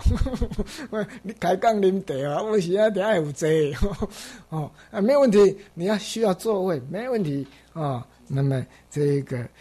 维摩诘居士呢，就马上派出分身呢，啊，从他方佛土哦借来那种很高大的那一种宝座，整个房间里面有八万四千个，连这一些菩萨、阿罗汉都可以，都可以有有的坐，啊，但是呢，这个座椅太大了，太高了，阿罗汉公，我对不起你，修管。哦，那菩萨人人家神通广大，一动念之间就坐上去了，哦，那菩萨又不行啊。所以呢，这些呢，这个都在《维摩经》里面很有趣的这些画面啊。但是要表示呢，在《维摩经》要表示的就啊，阿罗汉不及菩萨，只是这样而已。然后，但是呢，《维摩经》里面也有让人家呢有这种感觉，就是呢，大小无碍，小小的维摩藏室就是一个房间。竟然可以容纳那么多的菩萨、阿罗汉、天龙八部，乃至呢借来这么大的高广、高高高的那个椅座、莲花座呢，哎，都能容得下。哦，所以呢，那部经就叫做呢小不思议经，华严叫做大不思议经，维摩经就叫小不思议经。哦，所以呢，这个就是要讲那个无爱相容无爱啊，我们。凡夫呢迷了这种事相，把这个事相当成实有。如果你能够把这个事相看穿它的虚假，就如同《金刚经》里面讲的，如梦幻泡影，也就是看到它的空性，那你就不会被这个有形有相的给限制住了，你就能够呢这边讲的相融无碍了，哦，所以呢，他又引用了这个《唐色论》《色大圣论》里面的的意思，卷书。卷十方无量世界入一极微，极微呢就是呢我们讲的基本粒子，叫做极微层啊。那么十方世界可以入一个极微啊微层，然后呢极微不增，书一即为，包括十方世界，世界不减，所以约大小论其增减。现在约。净土的数量明增减，啊，十方净佛国土数量多，现在一个宝花台数量少，啊，有这个意思在啊，但是也有大小的问题哈。那么，所以后面的小字呢，墨学就补充，这当中可以显示华严十宣门的广狭自在无碍门，狭就是小啊，广就是很广大。哦，所以广狭自在无碍门，然后呢，一多相融不同门，啊，一多相融，一里面含多，那为什么后面还用一个不同门呢？啊，也就是说呢，在一个微尘里面，或者是在一个宝台里面，可以容纳十方诸佛净土，并不会因为呢小小的东西容纳这么多，大家呢就。这个这九，好像就分不出有什么不同了。不会，还是很明显的分别，是娑婆世界，是药师佛如来的这个世界，都很明显的有有这个不同。所以在华严里面呢，去描述、去譬喻这种一多相融不同门呢，就用一个譬譬喻，一个透明的玻璃瓶，哦，然后呢。里面呢含有很多颗戒指，或者是我们讲的呃玻璃球好了，啊，这样比较大家比较好理解，比较好想象。一个透明的玻璃瓶，很大的一个一瓶，可是里面放了很多透明的一颗一颗的玻璃瓶，啊，玻璃珠，对不起，玻璃珠。所以一个玻璃瓶一里面含有很多颗玻璃珠，这样叫做一多。相融，可是每一颗玻璃珠，你还是可以很明显的看出一颗一颗的不同，这样叫做不同门。一多相融不同门，他就是用这个譬喻让你去了解。也就是说呢，在大菩萨在佛的这一种境界里面，看起来就是一尊菩萨而已，或者是像大势至菩萨这边的天观当中的一个宝台。就可以容纳十方诸佛广长之相，而且还很清楚。为什么写广长之相？就是不同的庄严相都很清楚，可以分出不同来。所以除了广狭自在无碍，还可以有一多相融不同门。哦，所以这样子的一个功德庄严，其实不是只有大菩萨有。就好像我们在读这个《法华经》，法师功德品，六根清净位，虽然还没到菩萨摩诃萨，没有像这个楞严楞严经的耳根圆通章到圆教初住这种圆通境界，即使还没到，只是呢实性位，出住之前的实性位，原教的实性位，就可以有类似这样子的功德相出现，在这个样这个实性位的这个菩萨。清净的身根，眼耳鼻舌身意啊，举身根来说，他的身根里面啊，这个清净的身体就可以看到六道众生的轮回因果相，也可以看到诸佛菩萨在这里面讲经说法转法轮相，就在生一个生根里面就可以呈现这些实性位的菩萨，就可以有这样子的功德相。那更不要说是菩萨摩诃萨，更不要说是诸佛，哦，所以像这样子的一种一种一种看起来好像是神通不可思议的现象，在大乘佛教里面来说，这个就是我们的自信功德，该本有该有的现象，也就是说，你有这样子的一种功德相，那只是代表你正德真如本性，你自信的功德相本来如此而已。可是呢，如果对一般研究佛学，把它当成学问的人来研究，或者是呢南传原始佛教的人，就就认为这个纯粹只是一种理论而已。他们认为这个只是一种哲学上的一种很高的那种逻辑思维而已。但在我们大乘佛教来说，这个是我们真如本性里面本来该有的智慧庄庄严相。所以，为什么我们得念佛上面的时候，前面会写到：当你得念佛上面的时候，你见到阿弥陀佛，也就等于见到十方诸佛。为什么从大势菩萨的一毛孔光可以见到十方诸佛的净妙光明？因为你已经见到那个法身，同体的法身，也就是等于见到我们的真如本性的自信功德一样的。所以在大势至菩萨观里面，这边就特别强调这一件事情，经文处处都显现这样的一个事情，所以在这边呢，稍微特别强调一下。好，这是第五段，然后回到课本的九十三页最后四行，第六段，从顶上肉髻下到普现佛事以来，证明肉髻宝瓶之相，也就是经文九十二页第一行。顶上肉髻，如波陀摩花，于肉髻上有一宝瓶，渗出光明，普现佛事。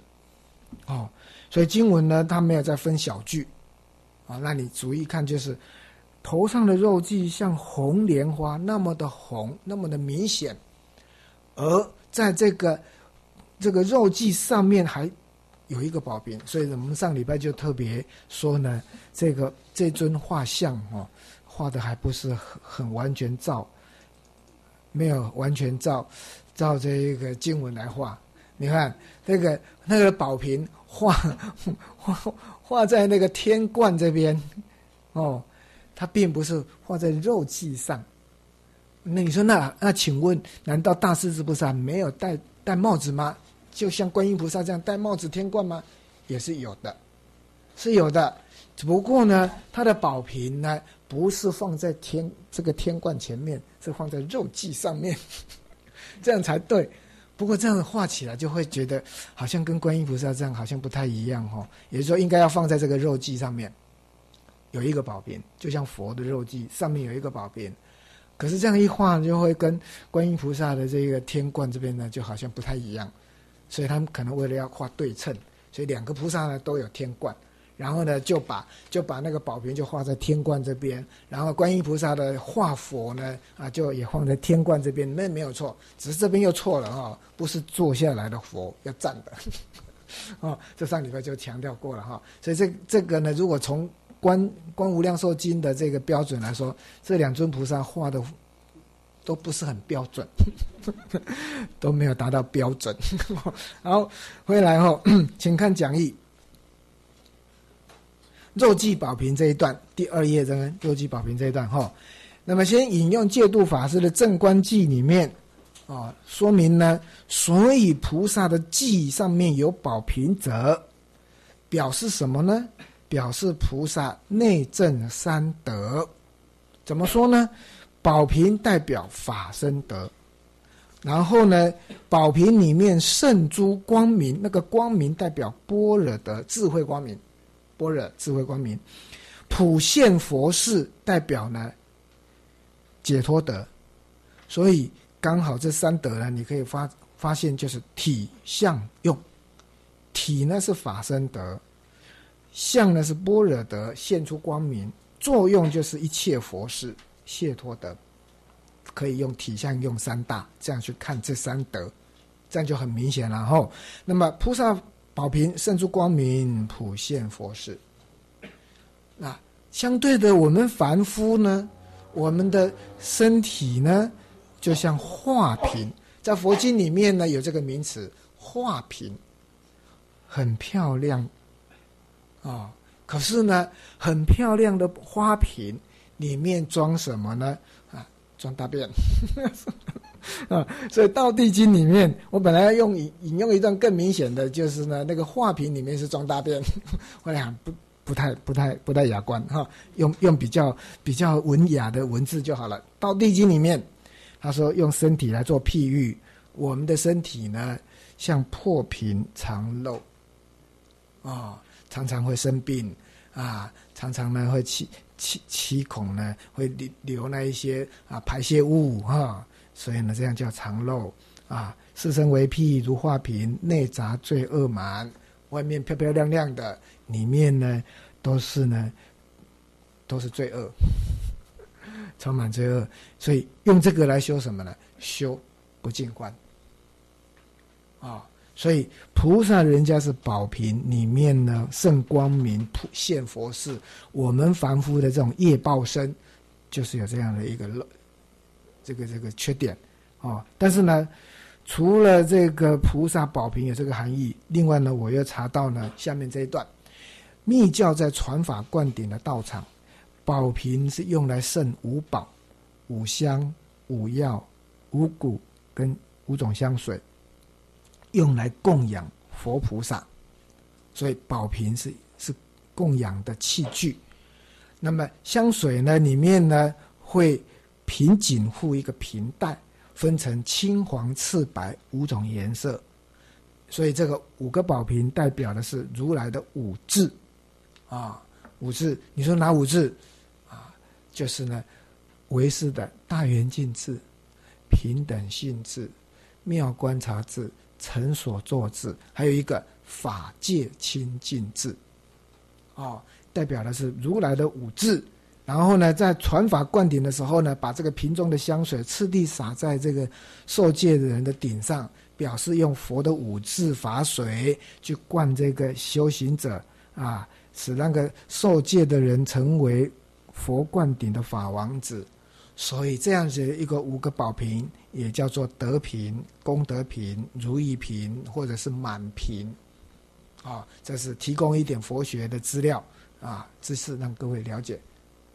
所以在修行上面，这个宝瓶也有它的含义在。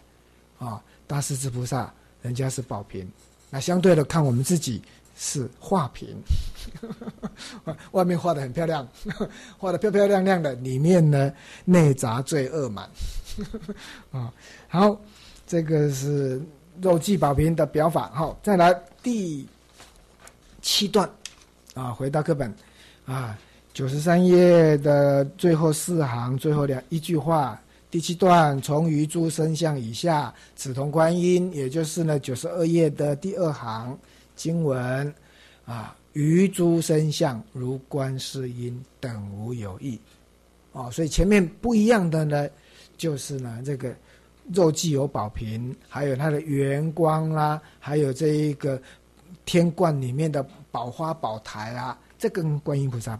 不一样，其他都一样，紫铜观音，所以这就是为什么善导大师前面在做注解的时候会有这些虚的科，啊，就是呢，经文虽然没有，你可以以此类推，观音菩萨里面有，这边也有，好，这是第七段，第八段啊，开始讲了菩萨行时、菩萨坐时这个，然后呢，善导大师的注解在九十三页倒数第三行，他说呢，到如极乐世界这一段，这是第八段。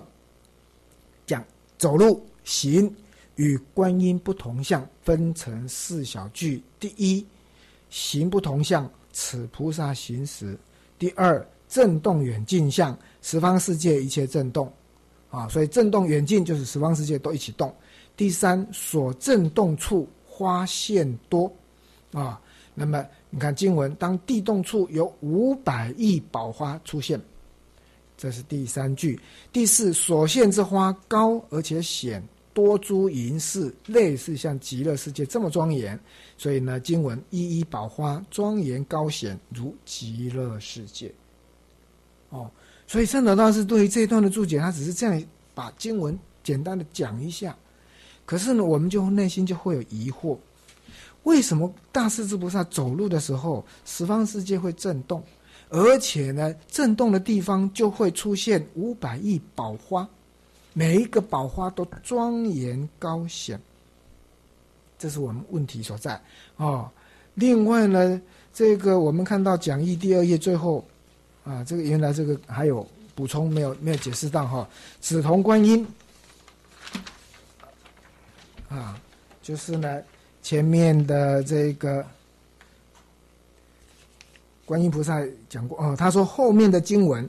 观世音菩萨及大势至，于一切处生同，众生但观首相，这是观世音，这是大势至。这个在九十六页，在第几关呢？在第十三关，有这么一段经文。哦，所以这个也是我们要前后连贯看地方，看到的地方就在这里。你看哦，九十六页的第六行，啊，二四六。观世音菩萨及大势至，于一切处生同。众生但观首相，知是观世音，知是大势至。所以这两位菩萨最大的不同，直接辨识出来的，在这一关里面呢，就很明显的告诉我们：你直接看他的头上面是一个立化佛呢，还是一个宝瓶呢？否则两位菩萨呢？身体大小都一样，然后呢，长得也一模一样，你怎么分辨？所以你去到极乐世界的时候，两尊菩萨你要仔细看，哦，啊，不，如果中间没有阿弥陀佛的时候，突然他出出现一个大菩萨，那你就看他头上，哦，是立化佛还是那宝瓶？哦，你不要拜错人了，这样，哦，所以呢，这个就是呢，紫铜观音。可以配合后面的经文，再来行不同相。讲义的第三页的第二行这边写呢，他说那个行不同相有什么不同呢？所以我就把经文前后两边呢做一个对比，给提供给各位看。观世音菩萨那边呢是举足下足，五百亿光明台，金刚摩尼花布散一切哦。大势至呢是行时坐时，十方震动。五百亿宝花，或者是国土动摇，佛菩萨满空中说法度众，这个就是两尊菩萨在经文上面描述他的行动的时候的不同相，但是各有表法的意思。上前面我们解释观世音菩萨他那个表法是转法度众生，以及呢安住下来成就一个道场来帮助众生接引众生，这就是他的举足下足。那大势至菩萨这边呢？哦，所以我们就先看到讲义。首先，先引用《法华文句》里面观心事，就是对于这种举足动足啊，啊，他呢从法上面来说，在天台中的讲法，你修止观，就是举足动足的意思啊。你修止，就是呢代表脚。停下来，修观头三地地，啊，那就是修观。所以修止修观，一个一个停下来，一个动作。所以头头三地地三地就是呢真俗中三地。哦，那三指的话呢就不不提了哈。啊，什么这个方便随缘指啦、体真指啦哈，这些呢太复杂了哈。总之就是一个指一个观。啊，所以一个停，一个动啊，然后一切爱见所住之处，就是普众生的烦恼，爱见就是见思惑，众生的见思惑皆悉轻动，所以你修止观就是要破见思惑，轻动就是呢开始摇动，开始呢会被被拔除的意思。所以文句里面已经很明显的告诉你，修止观能够除掉这些烦恼的意思，哦，然后呢，戒度法师的正观记里面讲，形象中若欲表法，行代表菩萨能观之智，所到之处十方世界，世界是所观之境，啊，所以菩萨行时开始修观，观哪里？观世界，而十界众生不离菩萨一念的心体，没有离开一念心，所以菩萨行时，为什么十方世界一切震动，而且震动处就有宝花？所以代表菩萨开始修观的时候，能够破惑显理，叫做一切震动，开始断烦恼，显出呢我们的真真心本性，真如本性，这样叫做一切震动。地动处呢就有宝花，代表什么？地动就是菩萨观自所造之处，所造之境，既能破惑，必因起行，就有能够呢起这个菩萨的庄严，菩萨道，菩萨行。断烦恼就代表菩萨行所在之处，所以用来用菩萨行来譬喻宝花，五百亿宝花。那为什么宝花要用那么多呢？为什么叫五百亿呢？它加加上这个表表演的意思呢，就是表法的意思呢。这五百就是呢五味真音，百亿只是形容很多哦。那哪五位呢？啊，在后面呢，我们看。唯识中修行有五个位次：资粮位、加行位、通达位、修习位、就近位，这样叫做五位。配合位次，大家可能会比较好理解。资粮位就是实住、实行、实回向；实住、实行、实回向是资粮位。加行就是要出地。十回向之后，到出地中间有一个四加行，一样是暖顶忍是第一。啊，通达位就是呢，登地了，出地，出地以出地通达位，修习位就是呢，整个实地，从二地到十地，修习位，就近位呢就实地以后，就妙觉位佛位，佛果，啊。所以，资粮位是三贤位，加四加行，通达位是出地，修习位呢就整个实地，就近位就是佛果，你也可以这样看哦。所以呢，唯识中修修行立这五位，那他的把五百亿就解释成五位真因啊。所以为什么这五百亿宝花庄严高显都如同极乐世界？因为你在这个菩萨道修行当中。真修福慧，庄严，因果不二，高显，而都如同极乐世界，是代表所契入的实相离体，真如本性实相离体，用极乐世界来做代表。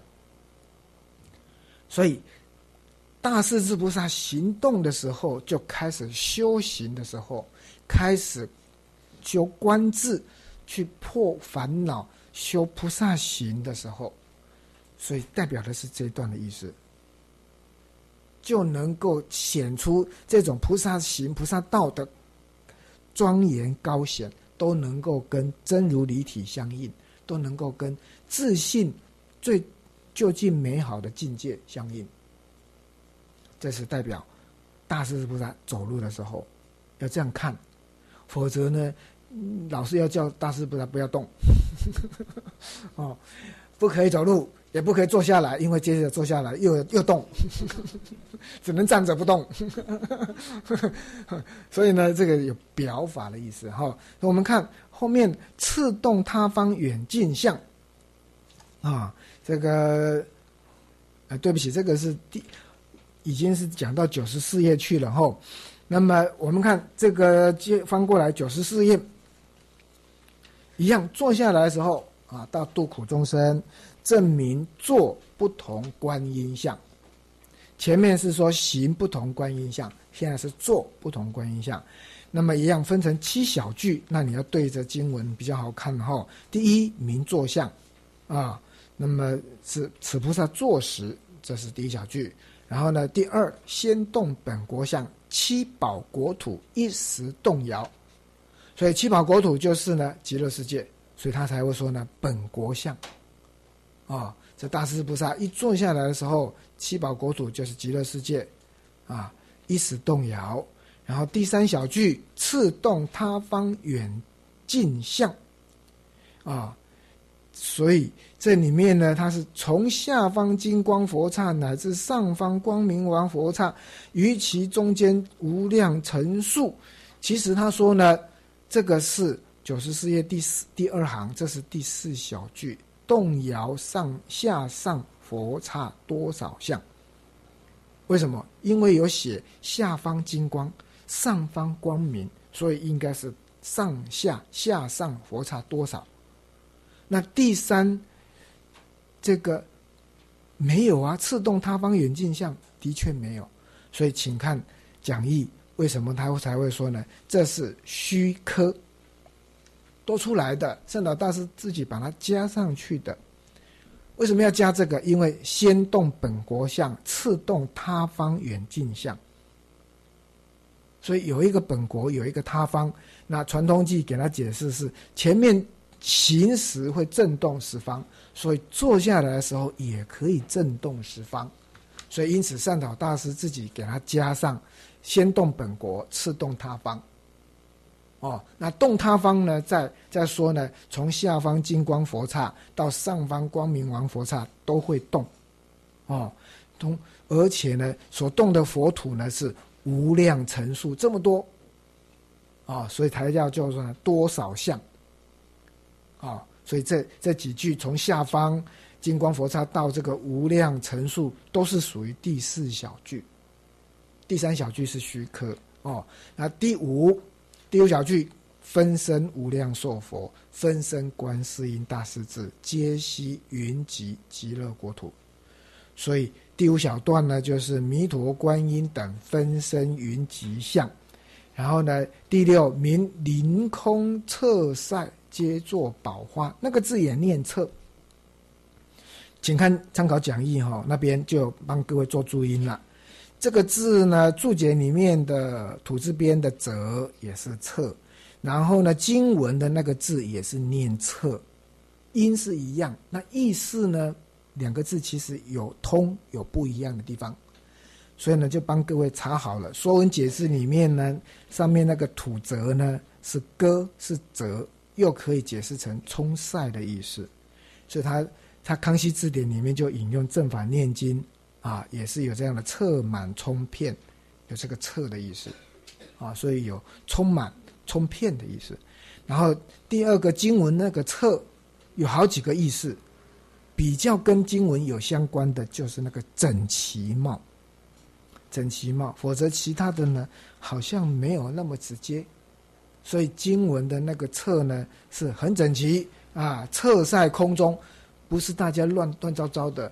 啊，而是呢，很整齐的啊，充满了整个虚空，哦，所以先把这个字呢，先解释一下。那为什么要分身云集？啊，而且经文接着是第七小句，演说妙法度苦众生。所以善导大师解释第七小句，分身说法各应所宜。所以分身云集。目的就是为了要说法度众生，那难道分身到各处去不需要云集，不能度众生吗？哦，所以一定要了解分身云集还有另外一个含义，代表色用归体，从体起用色用归体，所以这样子那个分身云集最代表性的经文在哪里？《法华经》。法华经呢，那个第十一品宝塔品，啊，那个多宝佛，他过去发一个愿，将来十方世界的诸佛要讲法华经的时候，他就呢出现他的宝塔，那个宝塔里面就是供奉多宝佛的，来证明这尊佛开始在讲的就是最高最就近的佛法。也就是说呢，证明这尊佛讲《法华经》是，是确实的确是《法华经》，所以十方诸佛在讲《法华经》的时候，多宝佛塔都会涌现出来。所以《法华经》里面也有一品，就是来说明这件事情。那么一涌现一个宝塔之后呢，呃，佛有人就问说：“诶，那请问我们可可不可以见这个见到里面的多宝佛啊？”啊，就问释迦牟尼佛：“什么情况之下我能不能够见到里面的多宝佛？”那释迦牟尼佛就跟大家解释，多宝佛呢，过去也曾经发愿，除了发愿有讲法经的地方，他的宝塔就会出现。想要见他的佛身的呢，一定要当当场那一尊佛讲法经的那尊佛，十方世界的分身，通通云集集合来，我多宝佛才可以现身。既然有弟子要求要见多宝佛的佛身，所以呢，释迦牟尼佛就把所有十方世界的分身全部集合到娑婆世界来。然后呢，全部集合来之后，要怎么样让多宝佛出现呢？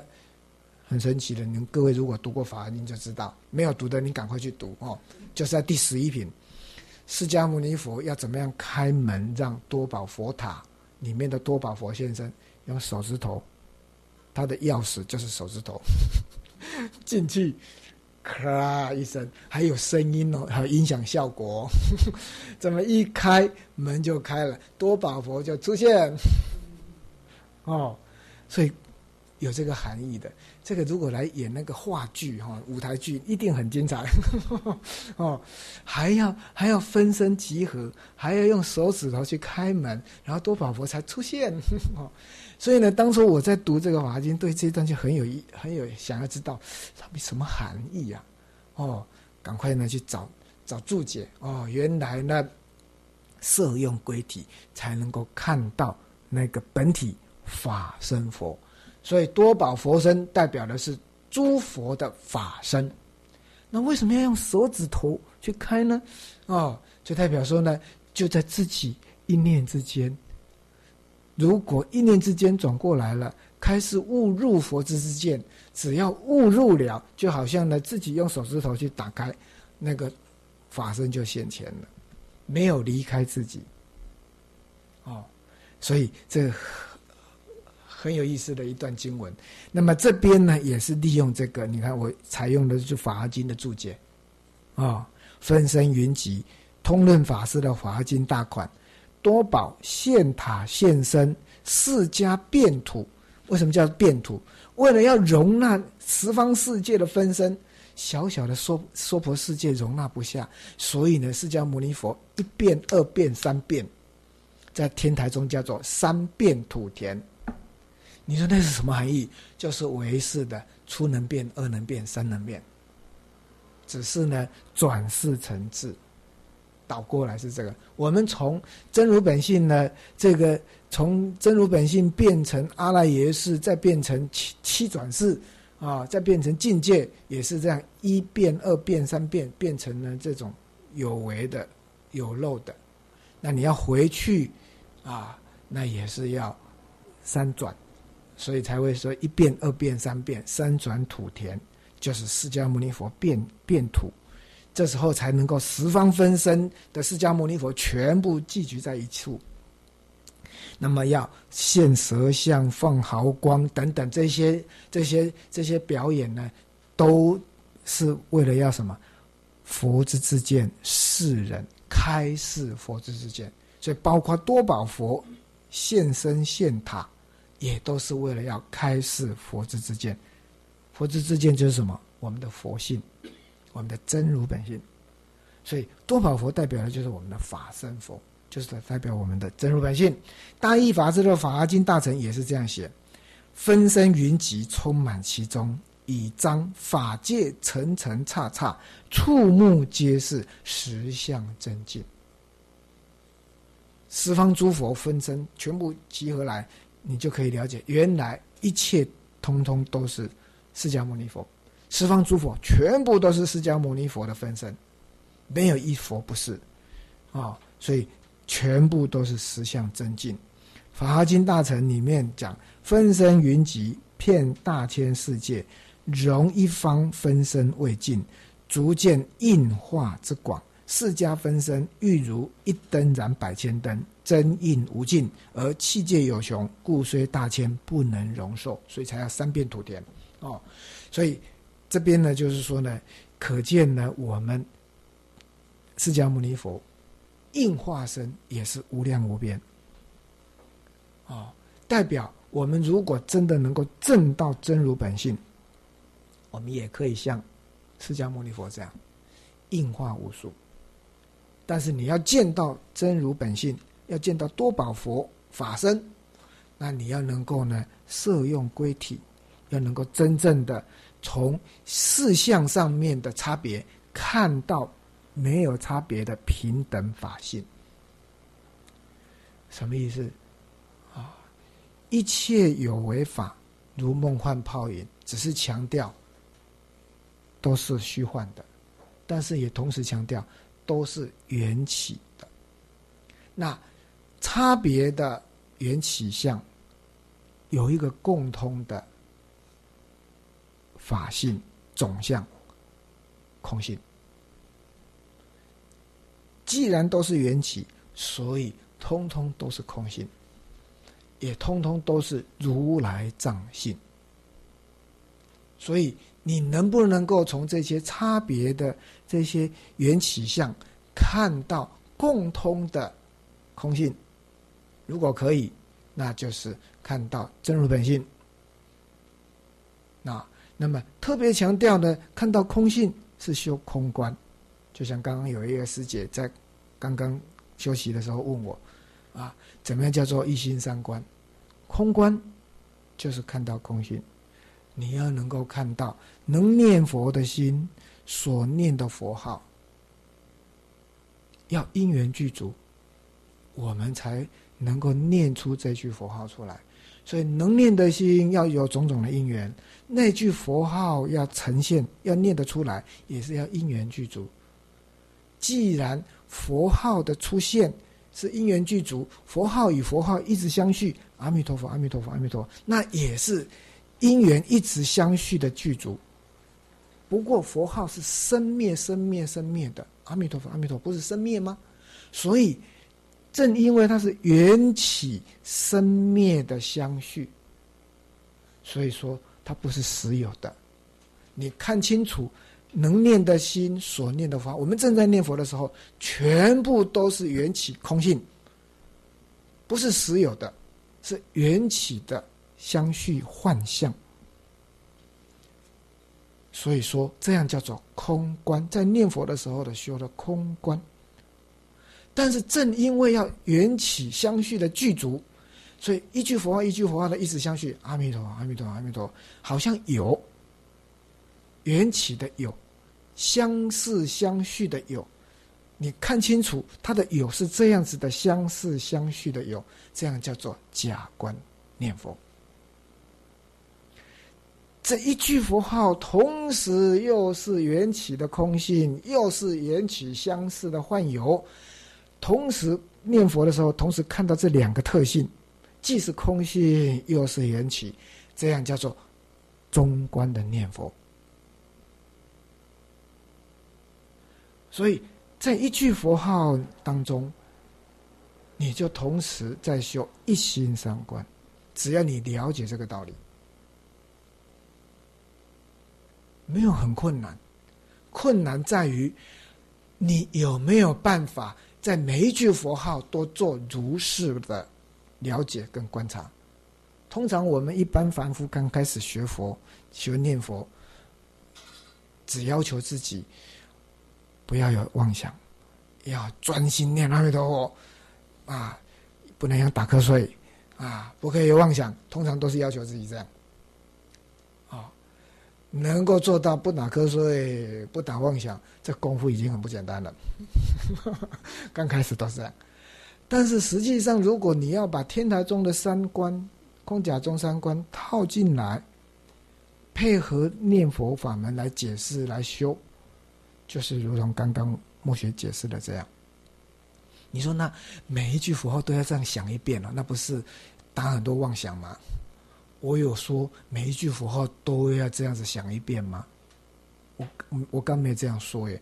我说当你了解什么叫做缘起性空，连念佛每一句每一句的佛号都是如此的空性缘起，缘起性空。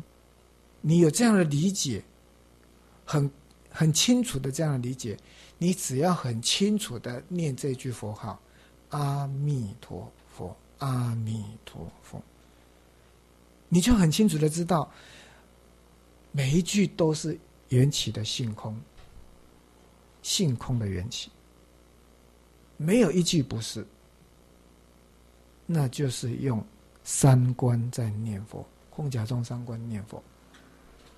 简单的解释是这样，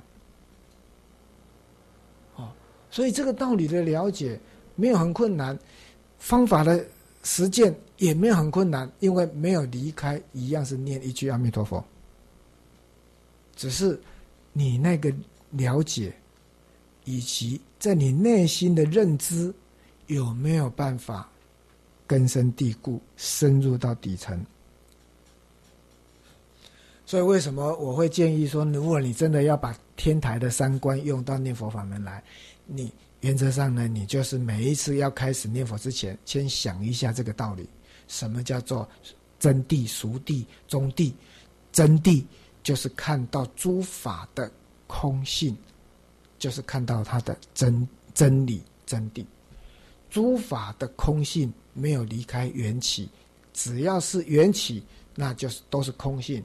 只要是缘起，就是看到它的熟地，世俗地，缘起就是熟地，真谛就是空性，真谛熟地不二，缘起即是性空，性空即是缘起，这样叫做看到它的中谛，真俗不二。每一次你要念佛，如果你要用三观念佛，就是这样想一下，所以了解了一样。还是阿弥陀佛，阿弥陀佛，阿弥陀佛。只是你每一句，乃至每一个字，都做这样的体会。哦，你说每一个字、每一句都要这样体会，你不是脑筋里面要动很快，要动很多？那我请问你，举例来说，啊，不管你以前打电脑要输入。或者是你现在打手机要输入，你要去输入某些字，你印象中记得的就是 b p m f，如何把那个字的 b p m f 给拼出来？难道你还要想一下，嗯，这个字，啊，那这叫做无哦，看一下无在哪里哦，然后呢，再想一下哦，这样叫亮了一暗亮，还要这样想一想吗？哦，我现在有时候在在电在这个捷捷印上面看人家那边输入。我都不知道他他们怎么这么快？一看他的年岁，好也没有很年轻呢，也差不多跟我差不多哎。为什么他们打字可以这么快呢？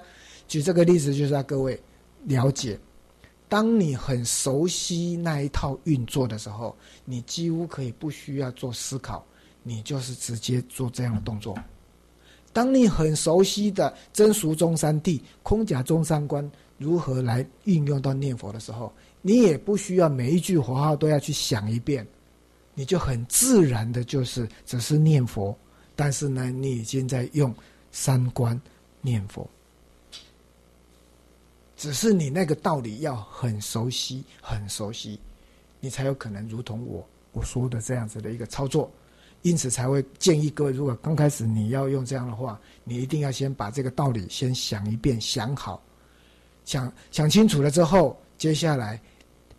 没有离开誓词而做礼词，你仔细去看《弥陀要解》也是这样讲，一样都是在念阿弥陀佛，但是它就可以是礼词，而不是纯粹的誓词。所以誓词跟礼词的不同在哪里？誓词都把那个念佛能念的心所念的佛当成实有，都当成有，这样去操作。当成是事相上的有，这样去念佛，这样叫做誓词。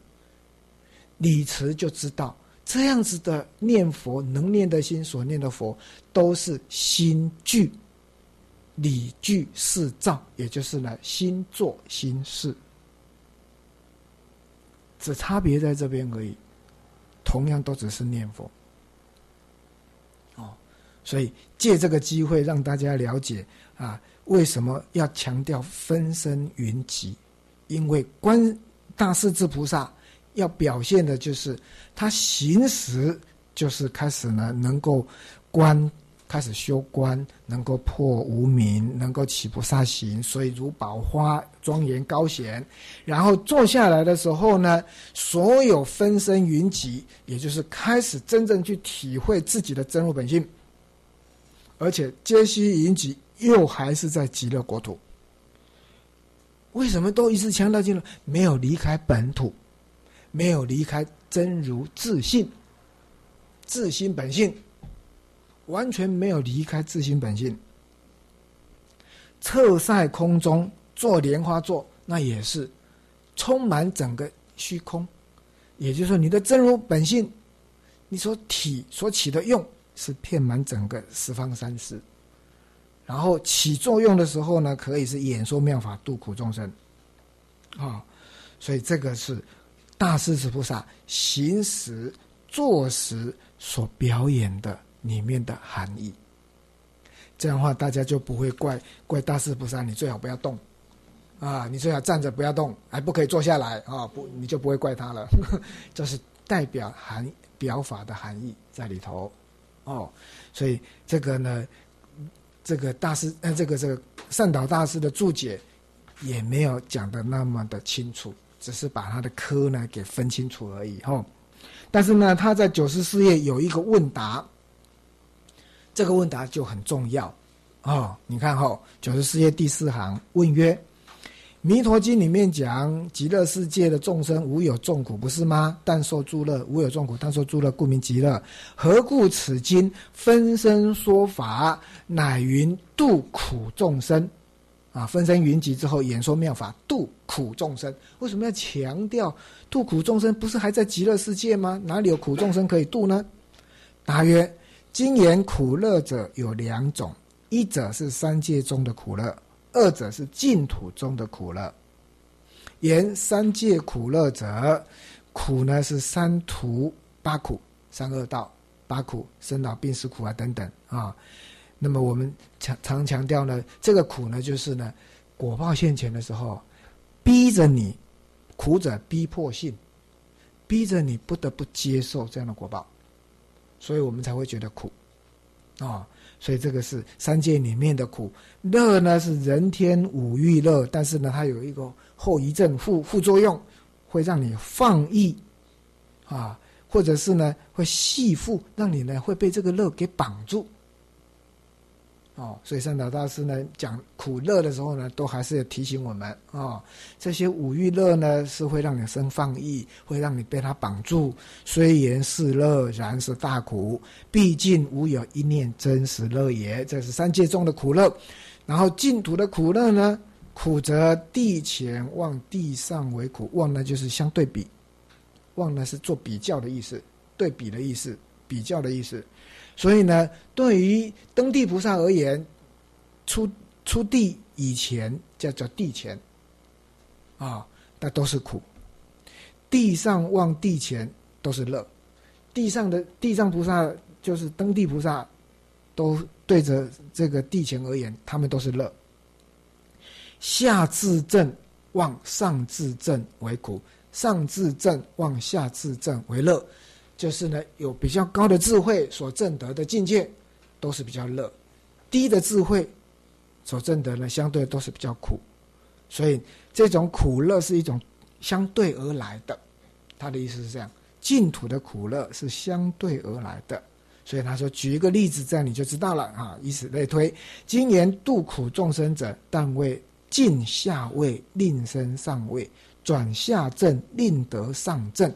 乘本所求，即名为乐，这样叫做度苦众生。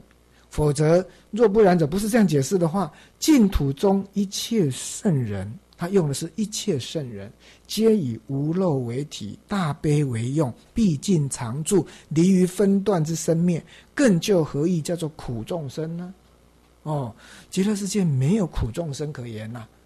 哦，但是呢，如果是用这种上下对比，那来讲。苦那就有了，否则的话呢，极乐世界的圣人都是无漏为体，大悲为用啊，已经离离分分分段生死但这些苦啦，哪里三苦八苦都没有了，哪里有苦呢？好，好，这段的文字是这样，那我们看一下讲义，采用四净土情疑论里面的文字啊，今言度苦众生者，为度自自苦自苦呃自土的苦众生。唯度他土的苦众生，像刚刚善导大师的解释，完全着重在极乐世界自土的苦众生。现在呢，这个四净土群疑论呢，就放宽范围来做问答，答通度自他土的苦众生。问曰：自土既无苦众生，云何度自土苦众生呢？啊？那么他土虽有自土就是极乐世界自己了哈。他土虽有苦众生，因须往彼度苦，何因乃即分身云集到极乐世界，然后远渡他方众生的苦呢？啊，他的回答：治国的众生虽无苦，极乐世界众生没有苦，然有两种生死。分段生死跟变异生死，有漏有为行苦之苦，啊！如来同集未说妙法，另出另述出离两种生死，成就法身，故名度苦。极乐世界的众生，有的呢还有变异生死苦啊，所以呢，就是如同刚刚善导大师的解释，就是这个完全要离开两种生死，成就法身，这样叫度苦。如果他国众生，或以身往亲自救拔，所以分身佛遍满十方，如持土众生净土业成临终临命中化佛来迎完毕，啊，这是一类，啊，从极乐世界到他方世界去，啊，这样来度苦众生，或以还归远为利益，顾及本国遥枕沉沦，啊。也可以是这样啊，不一定要去啊，哦，那么这里面呢，顺带讲一下啊，有人说，哎呀，这个往生到极乐世界去之后啊，你还要呢发愿啊，这个这个回到娑婆度有情，你不可以呢就自己躲在极乐世界成佛去了，你一定要发愿要回到娑婆来度有有情。我说。我就回答说：“那请问，只有娑婆世界的众生才才可怜要度，要成佛，难道他方世界的众生都不需要度吗？为什么你一定要强调回到娑婆世界？这是第一个问题，要抓你的语病就对了。然后第二个，回不回来，你还强调一定要回来，代表你的境界还不够高，你还有来来去去的相。我们在的极乐世界修修修到原教出住，别教出地，可以不动道场。”骗至十方，从本身法身来说不动，骗至十方，不知说婆十方世界我都会去，但是有没有动？从本身法身来说没动，从化身来说我可以骗至十方，啊，请问难道我不可以用这一招来度众生吗？一定要像你这样还要辛辛苦苦的回到娑婆世界吗？所以这样子去回答他，只是说。他们一直要强调啊，行菩萨道不能不能忘掉娑婆世界，不能够离开娑婆世界，完全是本位主义。我可以这样子批评他吗？啊，哎，所以为什么一定要这样强调呢？啊，要放宽心胸，真的到极乐世界去度众生，没有一个没有一个世界的众生不度的，怎么会漏掉娑婆世界呢？可想而知。自己有缘的亲人要度，自己不认识的凡夫众生也都要度哦，所以这是我们要了解的。好，后面或言度苦众生，化佛即自土中，化诸菩萨啊，也就是说化佛自己呢集中在这个自己的本土，然后呢去教化菩萨，让菩萨心大悲心，舍自土乐，浅生他。他方行大悲行，教化十方有缘众生，所以才会经文写极极乐国度苦众生，是集中大家呢做一个加强的教育，然后呢这些菩萨教好了，就派这些菩萨出去就好了。这样他的意思是这样。八地菩萨由多正极真如理，不肯出定教化众生，所以诸佛摩顶劝令出定。八地呢就会有这个问题，叫他出定。去教化众生，就是类似像这样，所以《维摩经》也这样写：持土菩萨于诸众生大悲坚固。又说呢，世人乃能舍清净土而来乐此多怨害处，啊，才发愿到我们娑婆世界来。那不要忘记大悲坚固，自舍清净土，代表自己的境界有相当的高。所以发愿来我们娑婆世界的这种多怨害处、浊恶处，他呢的的确确就能够真正帮助到众生。如果我们自己程度不够，只有那个大悲心啊，然后呢急急着赶快要要回来娑婆世界啊，能不能够能不能够真正帮助到众生呢？就很难说。但是起码你有先到极乐世界去，有阿弥陀佛的愿力摄受加持之下，即使没有什么成绩，也不会往下堕落，也好。哦，所以无论如何，一定要先去极乐世界，让阿弥陀佛的愿力加持一下。哦，如果你悲心真的很重，真的看到娑婆世界有缘的这些亲友哦还在受苦，你真的要回来啊，急着赶快回来，起码不会堕落，啊。啊，能够稍微待久一点，把自己的功夫修好一点，回来才真正帮得到他。哦，否则你也只多跑一趟而已。好，回来后，净土中一切圣人，啊，刚刚那句话啊，那么传东记呢，就说问今明彼土凡圣无苦啊，云何呢？你圣导大师要特别写的是一切圣人啊，回答说呢，这是从比较殊胜的角度来说。啊，另外呢，还有一个角度呢，只要是往生到极乐世界去的凡夫，都可以很快证得圣位。这样去说极乐世界里面的一切圣人，因中说果，同叫做圣人，因为很快可以证得圣位啊，可以这样解释。好，好，以上这个是第九段，回到课本九十四页最后四行，第十段。从作此观者下至十一观以来，证明变观邪正总结分歧。这个第十段，请参考九十二页的经文。作此观者，名为关键大势至菩萨，是为观大势至色身相。啊，这边的重点色身相刚刚解释过了，所以这几句是第十段啊总结分析。现在比较麻烦的是第十一观，十一十一段。你看经文是写观此菩萨者，名第十一观，除无数劫阿僧祇生死之罪。我们的经文是这样，但是你注意看善导大师九十四页它的分段，九十四页倒数第四行，它的第十段到哪里？到十一关明第十一关，也就是说，观大势至色身相，明第十一关，这是它的第十段。第十一段，观此菩萨者，然后呢，修观利益，除罪多劫，什么意思？可能有些人还没听懂，也就是告诉各位，九十二页的经文，有的版本，它的顺序是这样：四为观大势至色身相，名第十一观。观此菩萨者，除无数劫阿僧祇生死之罪。这两句是颠倒的。善导大师就是采用颠倒的哦，所以有两种版本。那么我们后来是根据大正藏呢，就把它做成像九十二页的经文哦，那就跟善导大师的科判呢就有一点出入哦，是这样子哈。所以这里面呢，就是在强调的经文的内容是强调。做这样的观想，可以除无数劫阿僧祇生死之罪，跟观音菩萨观一样。哦，好，再来第十二段。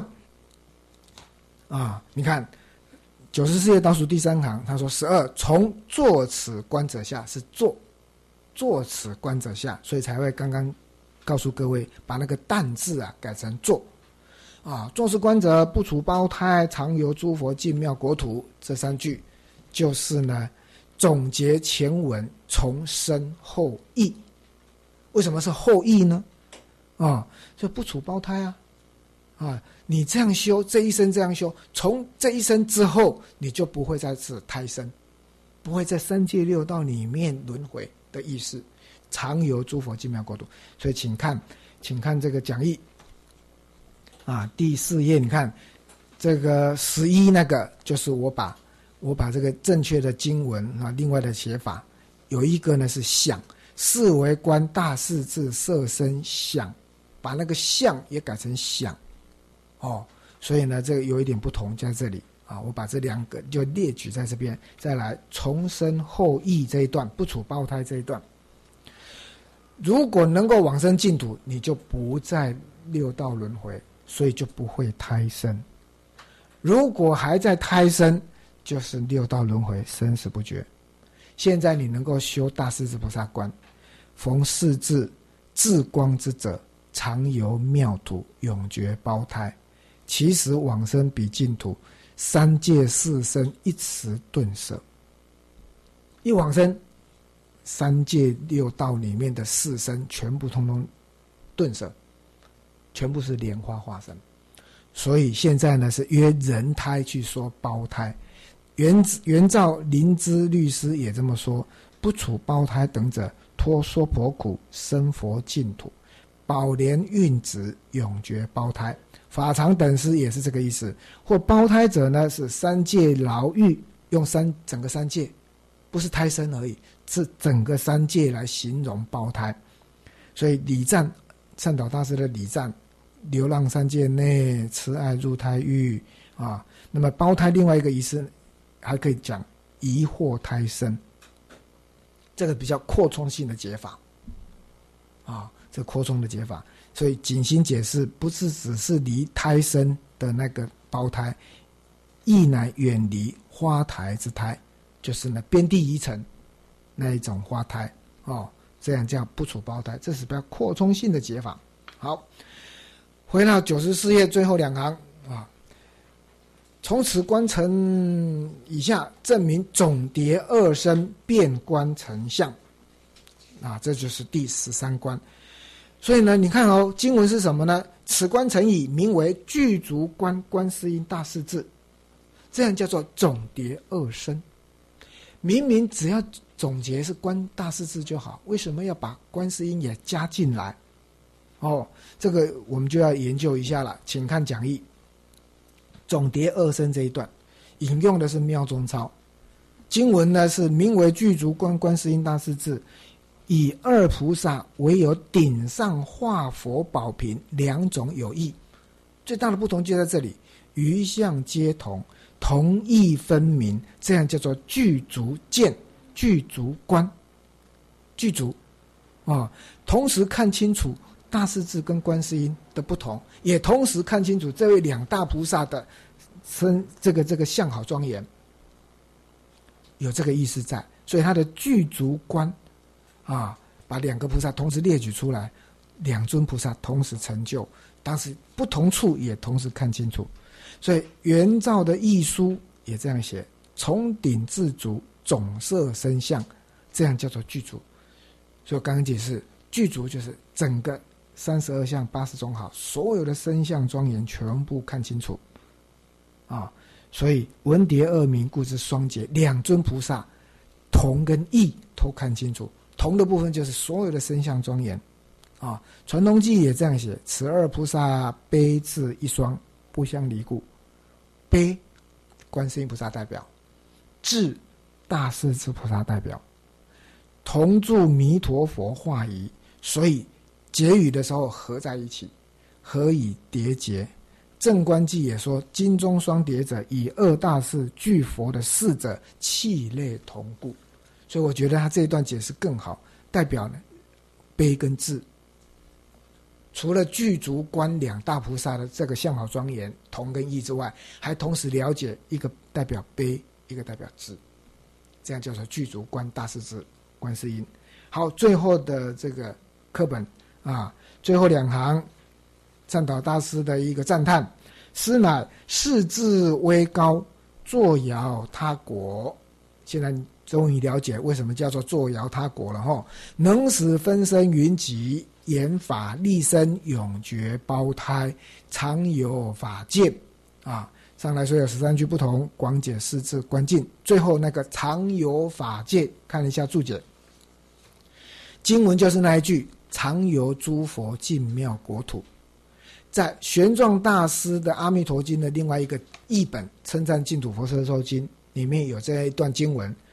若诸有情生彼土者，生到极乐世界，皆不退转，必不复堕诸险恶趣，也不会堕到边地下界、下界灭灭、灭灭、灭力车中、灭力居中，常由诸佛亲近国土。所以《阿弥陀经》里面有这一段：常由诸佛亲近国土，殊胜行愿，念念增进，决定当正阿耨多罗三藐三菩提。所以是。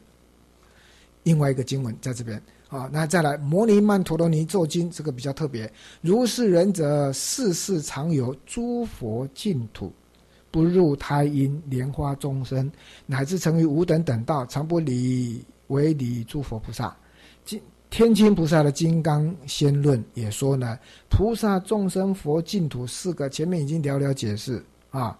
体同用别，此名此四名虽异，皆依真如故有。离真如法界于虚有妄有为虚妄法中，为更有此四法可见者，非是菩萨。若解不异真如而见是者，叫做真菩萨。为什么要引用这一段？常游诸佛净妙国土是经文呢？为什么圣导大师要讲常游法界？所以后面引用这一段，只是要让大家了解。诸佛净妙国土没有离开真如法界，只是要证明这件事情。也就是说呢，菩萨佛啊、众生啊、净土啊，其实是体同相别。你能够了解这些不同的差别相，其实就是法界真如。这样叫做常有法界。引用这一段只是要证明这件事情哦，就能够呢证入。一真法界，真入法界。好，以上呢是大势至菩萨观结束。下礼拜呢就进入了这个第十二关、第十三关。好，我们今天讲到这里。